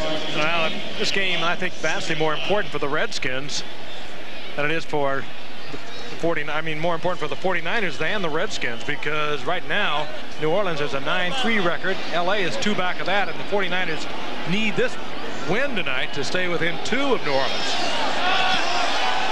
Well, the 49ers right now, even with a victory, would be two games, as you say, out of first. And thinking about a wild card as Craig carries, he's close to a first down, but appears to be a little short. The problem that the loser is going to have here, Frank, is that they're going to they're going to have what amounts to the ninth best record in the NFC, and you've only got five teams going to the playoffs. So even though you might only be a game out of first, uh, you're in you're in some trouble. Yeah, the problem with the loser here is that the loser probably isn't going to be in the playoffs. That's a major problem. Tough schedule coming up for the Redskins. They go home and they play the Cleveland Browns. Then they travel to Philadelphia, and then they go back home for Dallas, who they're not going to have a whole lot to lose for that one. And then they're going to close against Cincinnati. Again, a, a look at the wild card contenders in the NFC, and a lot of good football teams aren't going to be playing come holiday season. The 49ers, meanwhile, go to San Diego and go to Atlanta. And even though those two teams won and the, the Falcons have won three out of four, that's not bad in terms of uh, their next two games for opposition, quality of opposition. Then they come home and they they meet their big foes, New Orleans and the Rams, but at least they meet them at Candlestick Park, and they've already beaten each of those teams this season. Well, you look at those standings, and is this the ultimate parity? Yeah. This year more than ever. I know that's the it's the, the word that's been used for years, but I think more so now than ever before. Third and inches, and Craig comes up well short. Thanks to Darryl Grant, again in on a big play behind the line of scrimmage. Daryl having a big night. He came out here all stoked up if you were with us in the early going, and he's kept it alive, and the Redskins definitely are in this. And the fourth quarter will start with Washington getting the ball back. Back in Inside their town. We'll tell you why coming up at 11 o'clock. When one of these teams is facing the the better than average possibility of being out of it, I think that makes for a little bit of a, a good football game. It, it has been and uh, continues to be because Washington's going to get the ball back. Unless Clark loses it as he fumbles it at the 43 and San Francisco has it. And Gibbs can't believe it. What? Have you seen a ruling? I haven't seen a... Yet one Did one official of these- came in and said 49er football. Well, they weren't very adamant about it. But he clearly indicated 49er football, and he indicates it again. And it just so happens there's a 49er on top of it. Bill Romanowski, the rookie, out of Boston College, not only on special teams, but starting tonight because they put Keena Turner on injured reserve. I'm going to ask you, third round pick, great career at Boston College. And of course, starting tonight for an injured Keena Turner, Harry Clark not handling it. This is only about the sixth or seventh time that he has been back on punts for the Redskins. And ordinarily sure-handed, you would expect that of a receiver. Talked about those turnovers, and that's the third for Washington tonight. As Craig gets hit by Olkewicz and runs over him to the 40-yard line, picking up uh, about four. What a what a collision though between Olkewicz and Roger Craig. Remember the old saying, run with abandon? He personifies that phrase. Boy, our booth is a long way from the football field here, and I mean a long way away. And that was clearly audible. You're right. Even feeling it might be more appropriate. You're right, Frank. How can you say that? Just because we're in San Luis Obispo, I don't understand. Second and seven as Craig picks up the first down. And so the 49ers capitalizing after getting the big break on the clock fumble and a first down. And a flag now. A flag has just been thrown well after the play, and it might be on Wilber Marshall. And Marshall has taken his helmet off and fired it into the turf. If there is a penalty on Marshall, it certainly happened a long way away from wherever the and way ball carrier was. well after the play. Unsportsmanlike conduct, number 58, defense, throwing his helmet. First down. Yeah, it was a, a full five seconds after the play. But what was it about? He was way out of the play. Throwing his helmet where? I mean,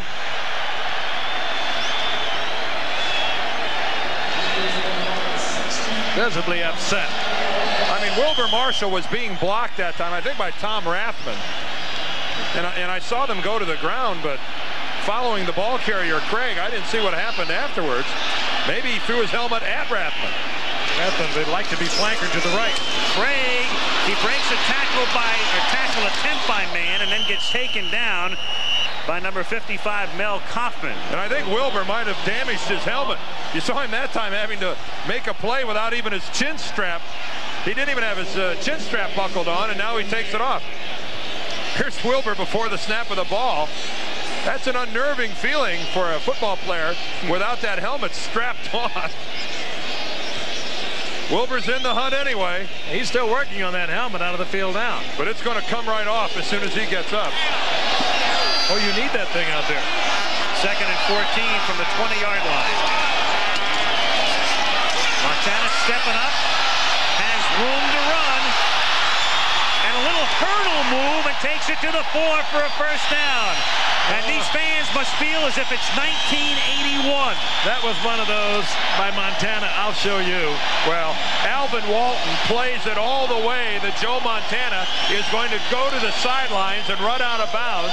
Alvin Walton takes the corresponding angle to the sidelines and watch Joe Montana fool him and cut back to the middle of the field.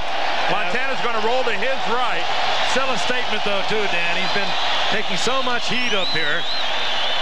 The 10-year veteran, does he have anything left? That's the Montana that we used to watch in his early days. First and goal, and Roger Craig tries to cut it back and is stopped at the four-yard line by Darryl Grant. Second and goal, 12 and a half minutes to go. San Francisco ahead by nine. Young next to Walsh. All this transpiring from a turnover by Gary Clark on the punt. What's being lost a little bit in here is Darryl Grant for the Redskins, who's playing a sensational ball game on the defensive line. That time he makes a play on Roger Craig for no gain on both of the short yardage situations. He's one of the guys plugging it on the inside. Big game for Daryl.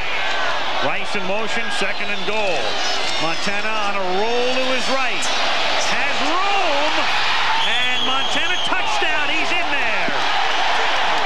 And you bet he's made a statement. He's. Limping a little bit. He took a big shot. Took the shot on the left knee that was hurt earlier in the game by Darrell Green. And the crowd making its own statement now for Joe Montana. They're on their feet. Sellout crowd, and they're all up. As well they should be. Darrell Green gets right into the legs of Joe Montana on this run. An old 49er play. You give your quarterback who is mobile the option either run or pass. Green came in, gave him everything he could, but he had to stay back with his man until Montana committed. No quarterback runs it better. You come up, and he'll dunk it over your head for the six After points. further review by instant replay, the play stands. Touchdown. They were checking to see that he had gotten in. Oh, well, I'd hate to take that away from him. No, not at this point. Well, he, the ball has to break the plane. And I think Joe does a pretty good job of kind of scooping it out there. Watch him get it away from his body a little bit, right there, mm. and get it on the other side of the pylon. Just the ball has to break that plane. So after Clark fumbles the punt, skirmish breaks out. No flags yet. Sapolu. Kick was good. There's Marshall again involved in it. With his chin strap buckled up. No flags this time. Extra point good. Joe Gibbs was saying last week it seems in every game the special teams have made a play that have really created a problem for us. No exception here, and this is the result at the end of the 49er drive. They lead by 16. Next week he returns to the kingdom. Niners on top 30 to 14 taking advantage after Gary Clark had coughed up the football. On the punt return, Montana, two key plays on the drive, including the touchdown himself as Cofer kicks off. This is Sanders, Ricky from the four. Out past the 20. Spun down at the 27-yard line. 11.42 remaining in the fourth quarter. Big weekend coming up as the regular season with Denver for first place in the AFC West. Skins down by 16. Over the middle, the catch is made by Jamie Morris. He has it out to the 33-yard line. Penalty marker. It'll be second and four. And from the Goodyear blimp, radar indicating some rain in the Bay Area, which we've seen already on a couple of occasions at Candlestick. Defensive holding against San Francisco. You logged a few years, few years here, didn't you, Al? Great a few rainstorm. Period of years for the 49ers. They were rarely in the hunt. Then Walsh came in in 79. Took them a couple of years to get it started. And then all of a sudden, out of nowhere, the great year in 81 and on to the Super Bowl. They do it again in 84. And tremendous success through this decade. First and 10 from the 32-yard line. Monk makes the catch. And he's out to the 38-yard line. Interesting to note, Frank, the 49ers have the, the best record in the decade of the 80s in the regular season, a half game better than Washington. We're looking at the, the two top teams of the decade tonight. I think it's also interesting to know that the 49ers in the final five games of the last seven years are 29 and 6. And you know who I think should get a lot of the credit? Two owners that aren't afraid to spend money to get a winning football team. Jack Kent Cooke and Eddie DeBartolo. Two guys that aren't afraid to go to the old purse to make something happen. Second and four. As Oliphant makes the catch and drops the ball at the 45-yard line, but it's recovered by Washington. Bill Romanowski was there. And the Skins maintain possession. And it's clearly a fumble. The ball out before Oliphant gets anywhere near the ground. Romanowski, the rookie, is all around the football tonight. And this just doesn't bear any resemblance to a Redskin football team with the ball on the ground as much as we've, as we've seen it here tonight and as the Redskins have been doing all season long, playing sloppy football. There's the fumble. The ball clearly out, but recovered by the Skins. First and 10, Washington from the 45-yard line. Williams deep over the middle and a little bit behind Monk, who can't make the catch. He had position on Fuller, but the pass a little low and behind him with 10.04 to play. Low behind and a little late. Monk was there. Williams just a little late picking him up. A couple of funny things about Washington tonight.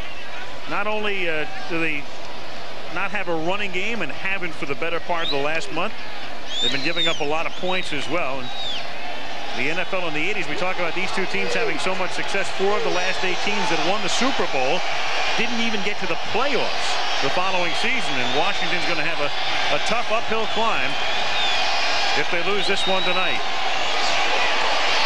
Has room, first down and a lot more, and finally tackled at the 35 after a gain of 20. The rookie from Puget Sound, just off injured reserve.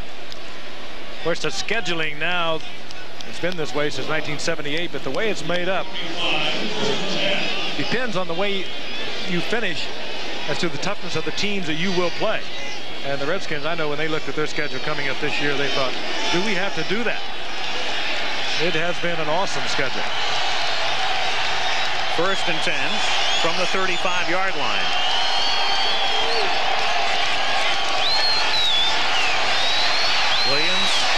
Over the middle. It's caught at the 31-yard line by Ricky Sanders, and he is tackled by Michael Walter.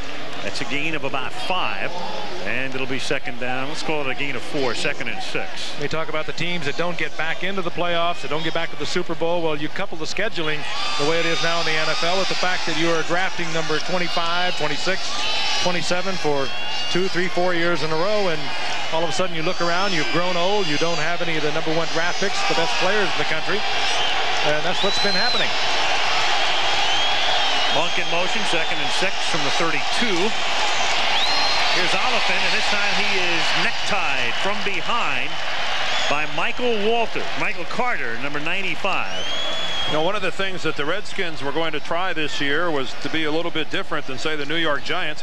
What the Giants write something like 11 books during getting back in the Super Bowl hunt. Maybe, maybe somewhere in the order of five or six books might be the uh, magical formula. I think 11 is the NFL record for penning tomes, isn't it? they might have better copy after this year. On third and six, Williams, the catch is made, and Monk, a brilliant job staying inbounds, taking it to the 16. We have seen tonight some of the best wide receiver play that we've seen all year long as far as receivers having to catch the ball away from their body. And Art Monk here with another example in motion, coming across the formation and working against Tory Nixon. But again, look at him go high and not only keep the ball, but not go out of bounds.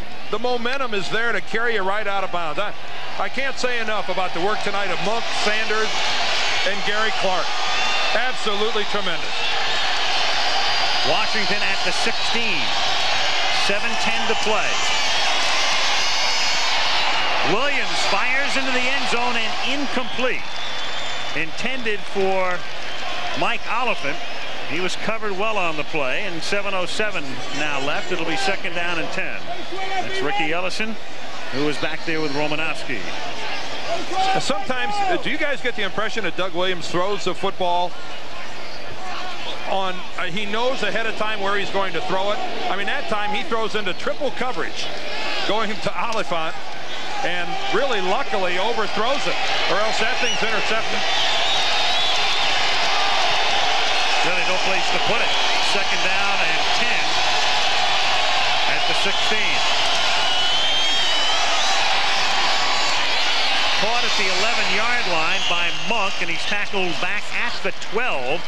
And so they have six yards to go on what will be a third and six with less than seven minutes to play. And Washington trailing by 16. Six catches tonight for Art Monk. You're down 30-14. You got to put this in the end zone some way. You got to snap it up. You got to snap it up a little bit in the huddle too. These guys are uh, taking their time. I would feel a little more urgency down to the extent the skins are down now. Yeah, they're down three scores. I'd try to run some plays a little quicker than they are. Clock down to 6:20 on third and six. Williams chase throws intercepted by Ronnie Lott. And again, no place to put it. The coverage was there on Monk, and Williams throws it right into Lott's hands. Great coverage downfield. Williams pressured out of the pocket, and he delivered it, tried to squeeze it in there on the third long situation. Perhaps should have thrown it away and kept the fourth down, but again, Ronnie Lott, the leader of this defensive unit, comes up with the interception. Well, first of all, Doug Williams is flushed from the pocket, but you still had another down to work with. Sometimes you just have to eat it or throw it away. 49ers have it at their own four-yard line with 6 minutes and 15 seconds remaining at Candlestick Park. 49ers now on the verge of going 7 and 5, and they'd be tied with the Rams for second behind New Orleans. Washington at 6 and 6 would drop to fourth place in the NFC East. And San Francisco will try to take some time off the clock now as Roger Craig takes it up to the five for a gain of one.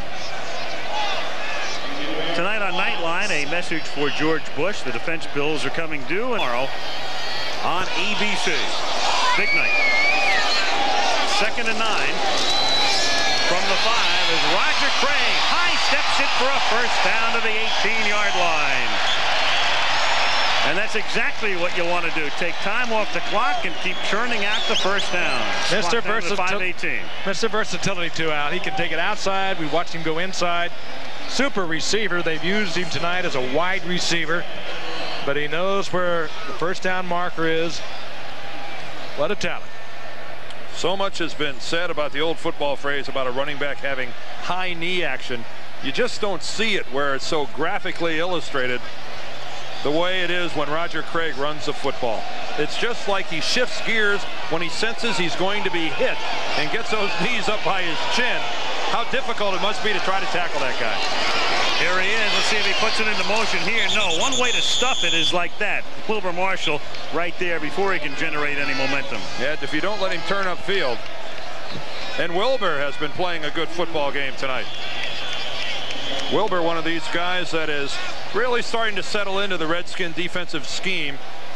He came over with an awful lot of pressure, but I think the Redskins are getting their money money's worth now. Talking about Craig, there he is uh, behind Dickerson and Walker in terms of rushing in the National Football League at the moment. Washington has taken a timeout. Park in San Francisco. the sideshow goes on. Hope he doesn't make a mistake, take a bite out of the wrong item. talent sur talent surfaces in many different ways, doesn't it? It'll curl the hairs in his nose. Yeah, this guy, this guy'd be fun to have over at Thanksgiving, wouldn't it? yeah. Come on, I go had, for it. I had a waiter like that last week at a restaurant. in your restaurant. I Se fired him. Second and 12 from the 15-yard line as Roger Craig takes it up to the 20. Washington had taken a timeout. yep, he's he's still hanging in. Kind of backwards. Well, I'd like to bob for apples with this guy. Look.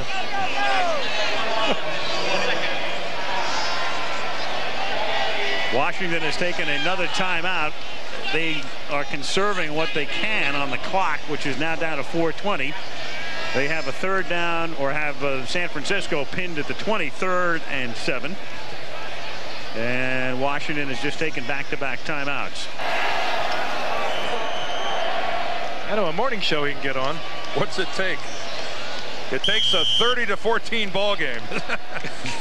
and that's and that's what we have. or Halloween. Are you talking about Cher? Third and seven from the 20. And Montana going deep for Rice. It's tipped and it's caught. And Rice is out in front and Jerry with a touchdown. And how do you think Darrell Green feels? Darrell Green with Jerry Rice gets a hand on the football instead of getting a pat on the back for a job well done ends up being the GOAT. He's been playing hurt like Wilburn has with the bad knee also, and this time was right off his fingertips, what even could have been an interception. And in the records, it's going to go down as a Montana touchdown pass. I mean, look how well played it is by Darrell Green. Just a bad break. I'll tell you one thing. I'll take both those guys on my football team. I'll go to war with either Darrell Green or Jerry Rice. They'll probably both be in Honolulu. They both ought to be. Rice's sixth touchdown catch of the season. Mike Cofer for the extra point. And that's good. This drive started back at the four as the 49ers were just trying to take time off the clock. Well, they did that and added seven points. They lead 37 to 14, and among the problems, and we've talked about Washington, their running game in disarray right now. Williams throwing interceptions, and defensively, only Pittsburgh and Tampa Bay have given up more points per game than the Washington Redskins, and that is amazing. It really is. How about that pass pattern as we look at it again? You think this pattern down the near sideline, the fly pattern, you think that sends shivers up the spine of every New York Giant fan? 78 yards in week two. This one for 80. Boy, this guy can explode at any time, and here's the same guy that threw it against the Giants. And there seems to be a little football left in Mr. Montana. Well, Art Spander, the lead columnist for the San Francisco Examiner, was musing today if the 49ers lost, he was wondering about this being possibly the end of an era in San Francisco in addition to it being a very important game. Well, the end of the era may be eventually headed this way, but not tonight. Montana with one more year on his guaranteed contract, and that has been uh, what extended to 1992, right? 92. Art was Art, Art was musing. He was musing, musing, eh? evening musing. He's also hanging around, right? Ooh, what a hit on Morris. Felt that one too. Jim Fahnhorst. His first call of the night, and he makes it a memorable one. Minnesota meets Michigan. the little brown jug. say, Jamie Morris from Michigan. Jim Fahnhorst gets blocked right into the play by Terry Orr. And whoa. Montana, there is numbers for the year, over 2,000 yards after the performance to this point tonight. 13 touchdown passes. He's run for one as well this evening. 24-yard line, first and 10. Oliphant. Looks for room and is stopped at the 25-yard line. 3.48 to go. Moved around a lot to get a yard out of it. Interesting thing about this Mike Oliphant, he... Oh, there goes a flag, Al. For a change. A little late for a change. Jerry Seeman. Delay of game, number 49 defense. Jeff Fuller late in getting up. And he's laying on top of Oliphant, not letting him get off the ground. Look at that Oliphant. He had great numbers as a sophomore and junior at Puget Sound and then hurt his back and his hip as a senior, so the Redskins were able to get him in the third round. Second and four. And out at the 38-yard line, the catch catcher's made there by Art Monk. He's tackled by Ronnie Lott. 3.28 to go, and the Skins now without a huddle. I don't know what difference it might have made tonight, but again, if you were with us at the beginning of the telecast, Kelvin Bryant not even here tonight, out with an injured knee. 37-yard line. The 44 now, the catcher's made there is the Skins move the ball up the field, but they're down by 23. Jerry Rice on Monday nights back in 85. Huge night against the Rams. 86 in Washington. 12 receptions. Another first down here at the 35-yard line. That's Clark. And then to pick it up again against the Bears last year here when San Francisco routed them 41-0. Three touchdown receptions. And even this year in Chicago, he didn't have a big night, but he scored their only touchdown in the 10-9 loss. That 86 game, they lost that game. They lost Over that game. 500 yards of offense that night. Remember that Montana had 441 yards passing, and they didn't score a touchdown. That's hard to do. And remember that, that game ended at uh, something like uh, three after one. Don't ask me. I wasn't here. you were asleep. The 35-yard line. Second and 10. You know, one thing about these Washington Redskins, uh, uh, we don't want to make it sound like they don't have a chance uh, to make the playoffs, but I think clearly coming out of tonight's coded to say that the Redskins right now are playing good football. Second and 10.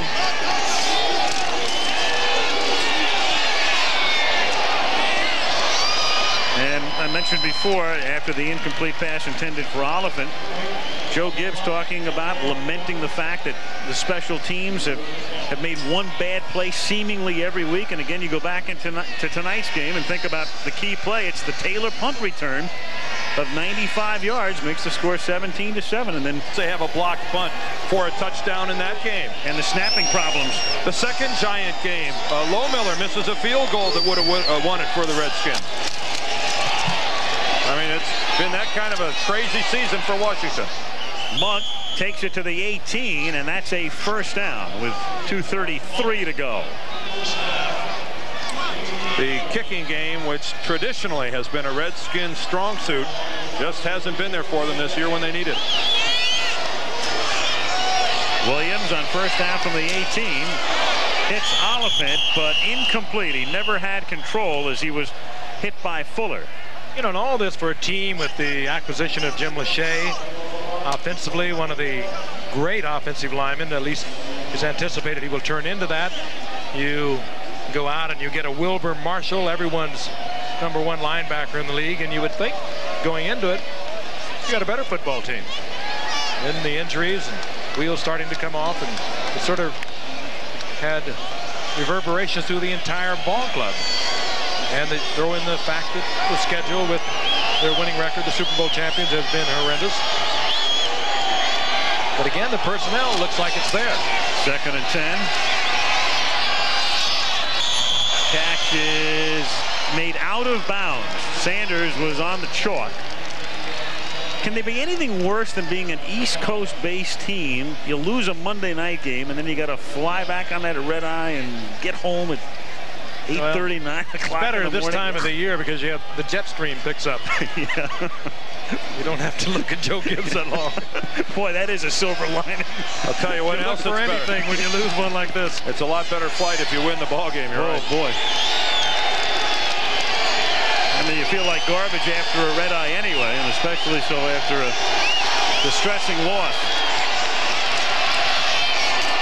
Third and 10, and here's Monk, and at least Monk is having a big, big night as he takes it in for a touchdown. Having a good year.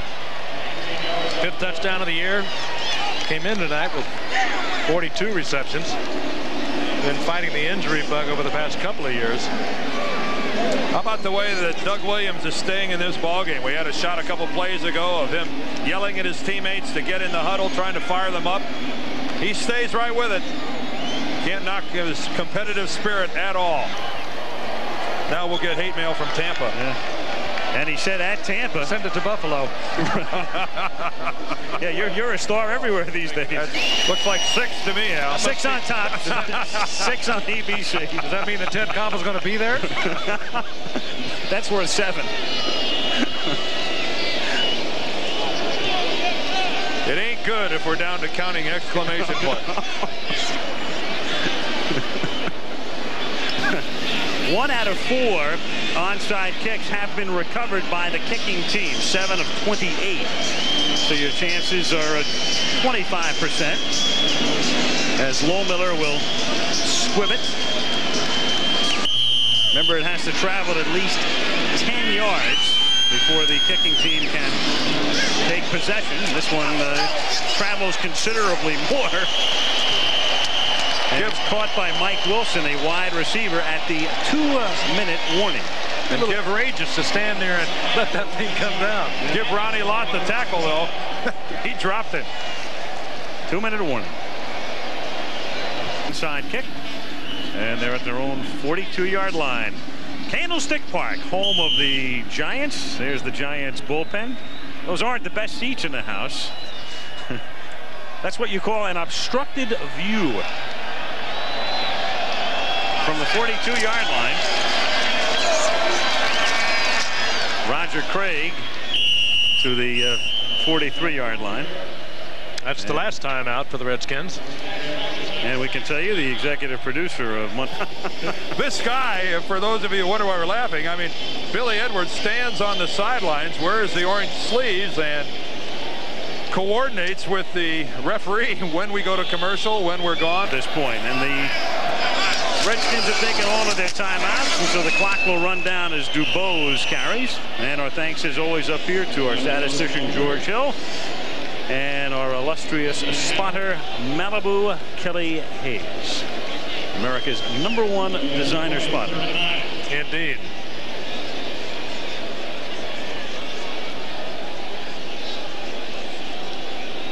One twenty-four and counting down. Gibbs heading home. He'll prepare for Cleveland. Bill Austin, the coach at that point.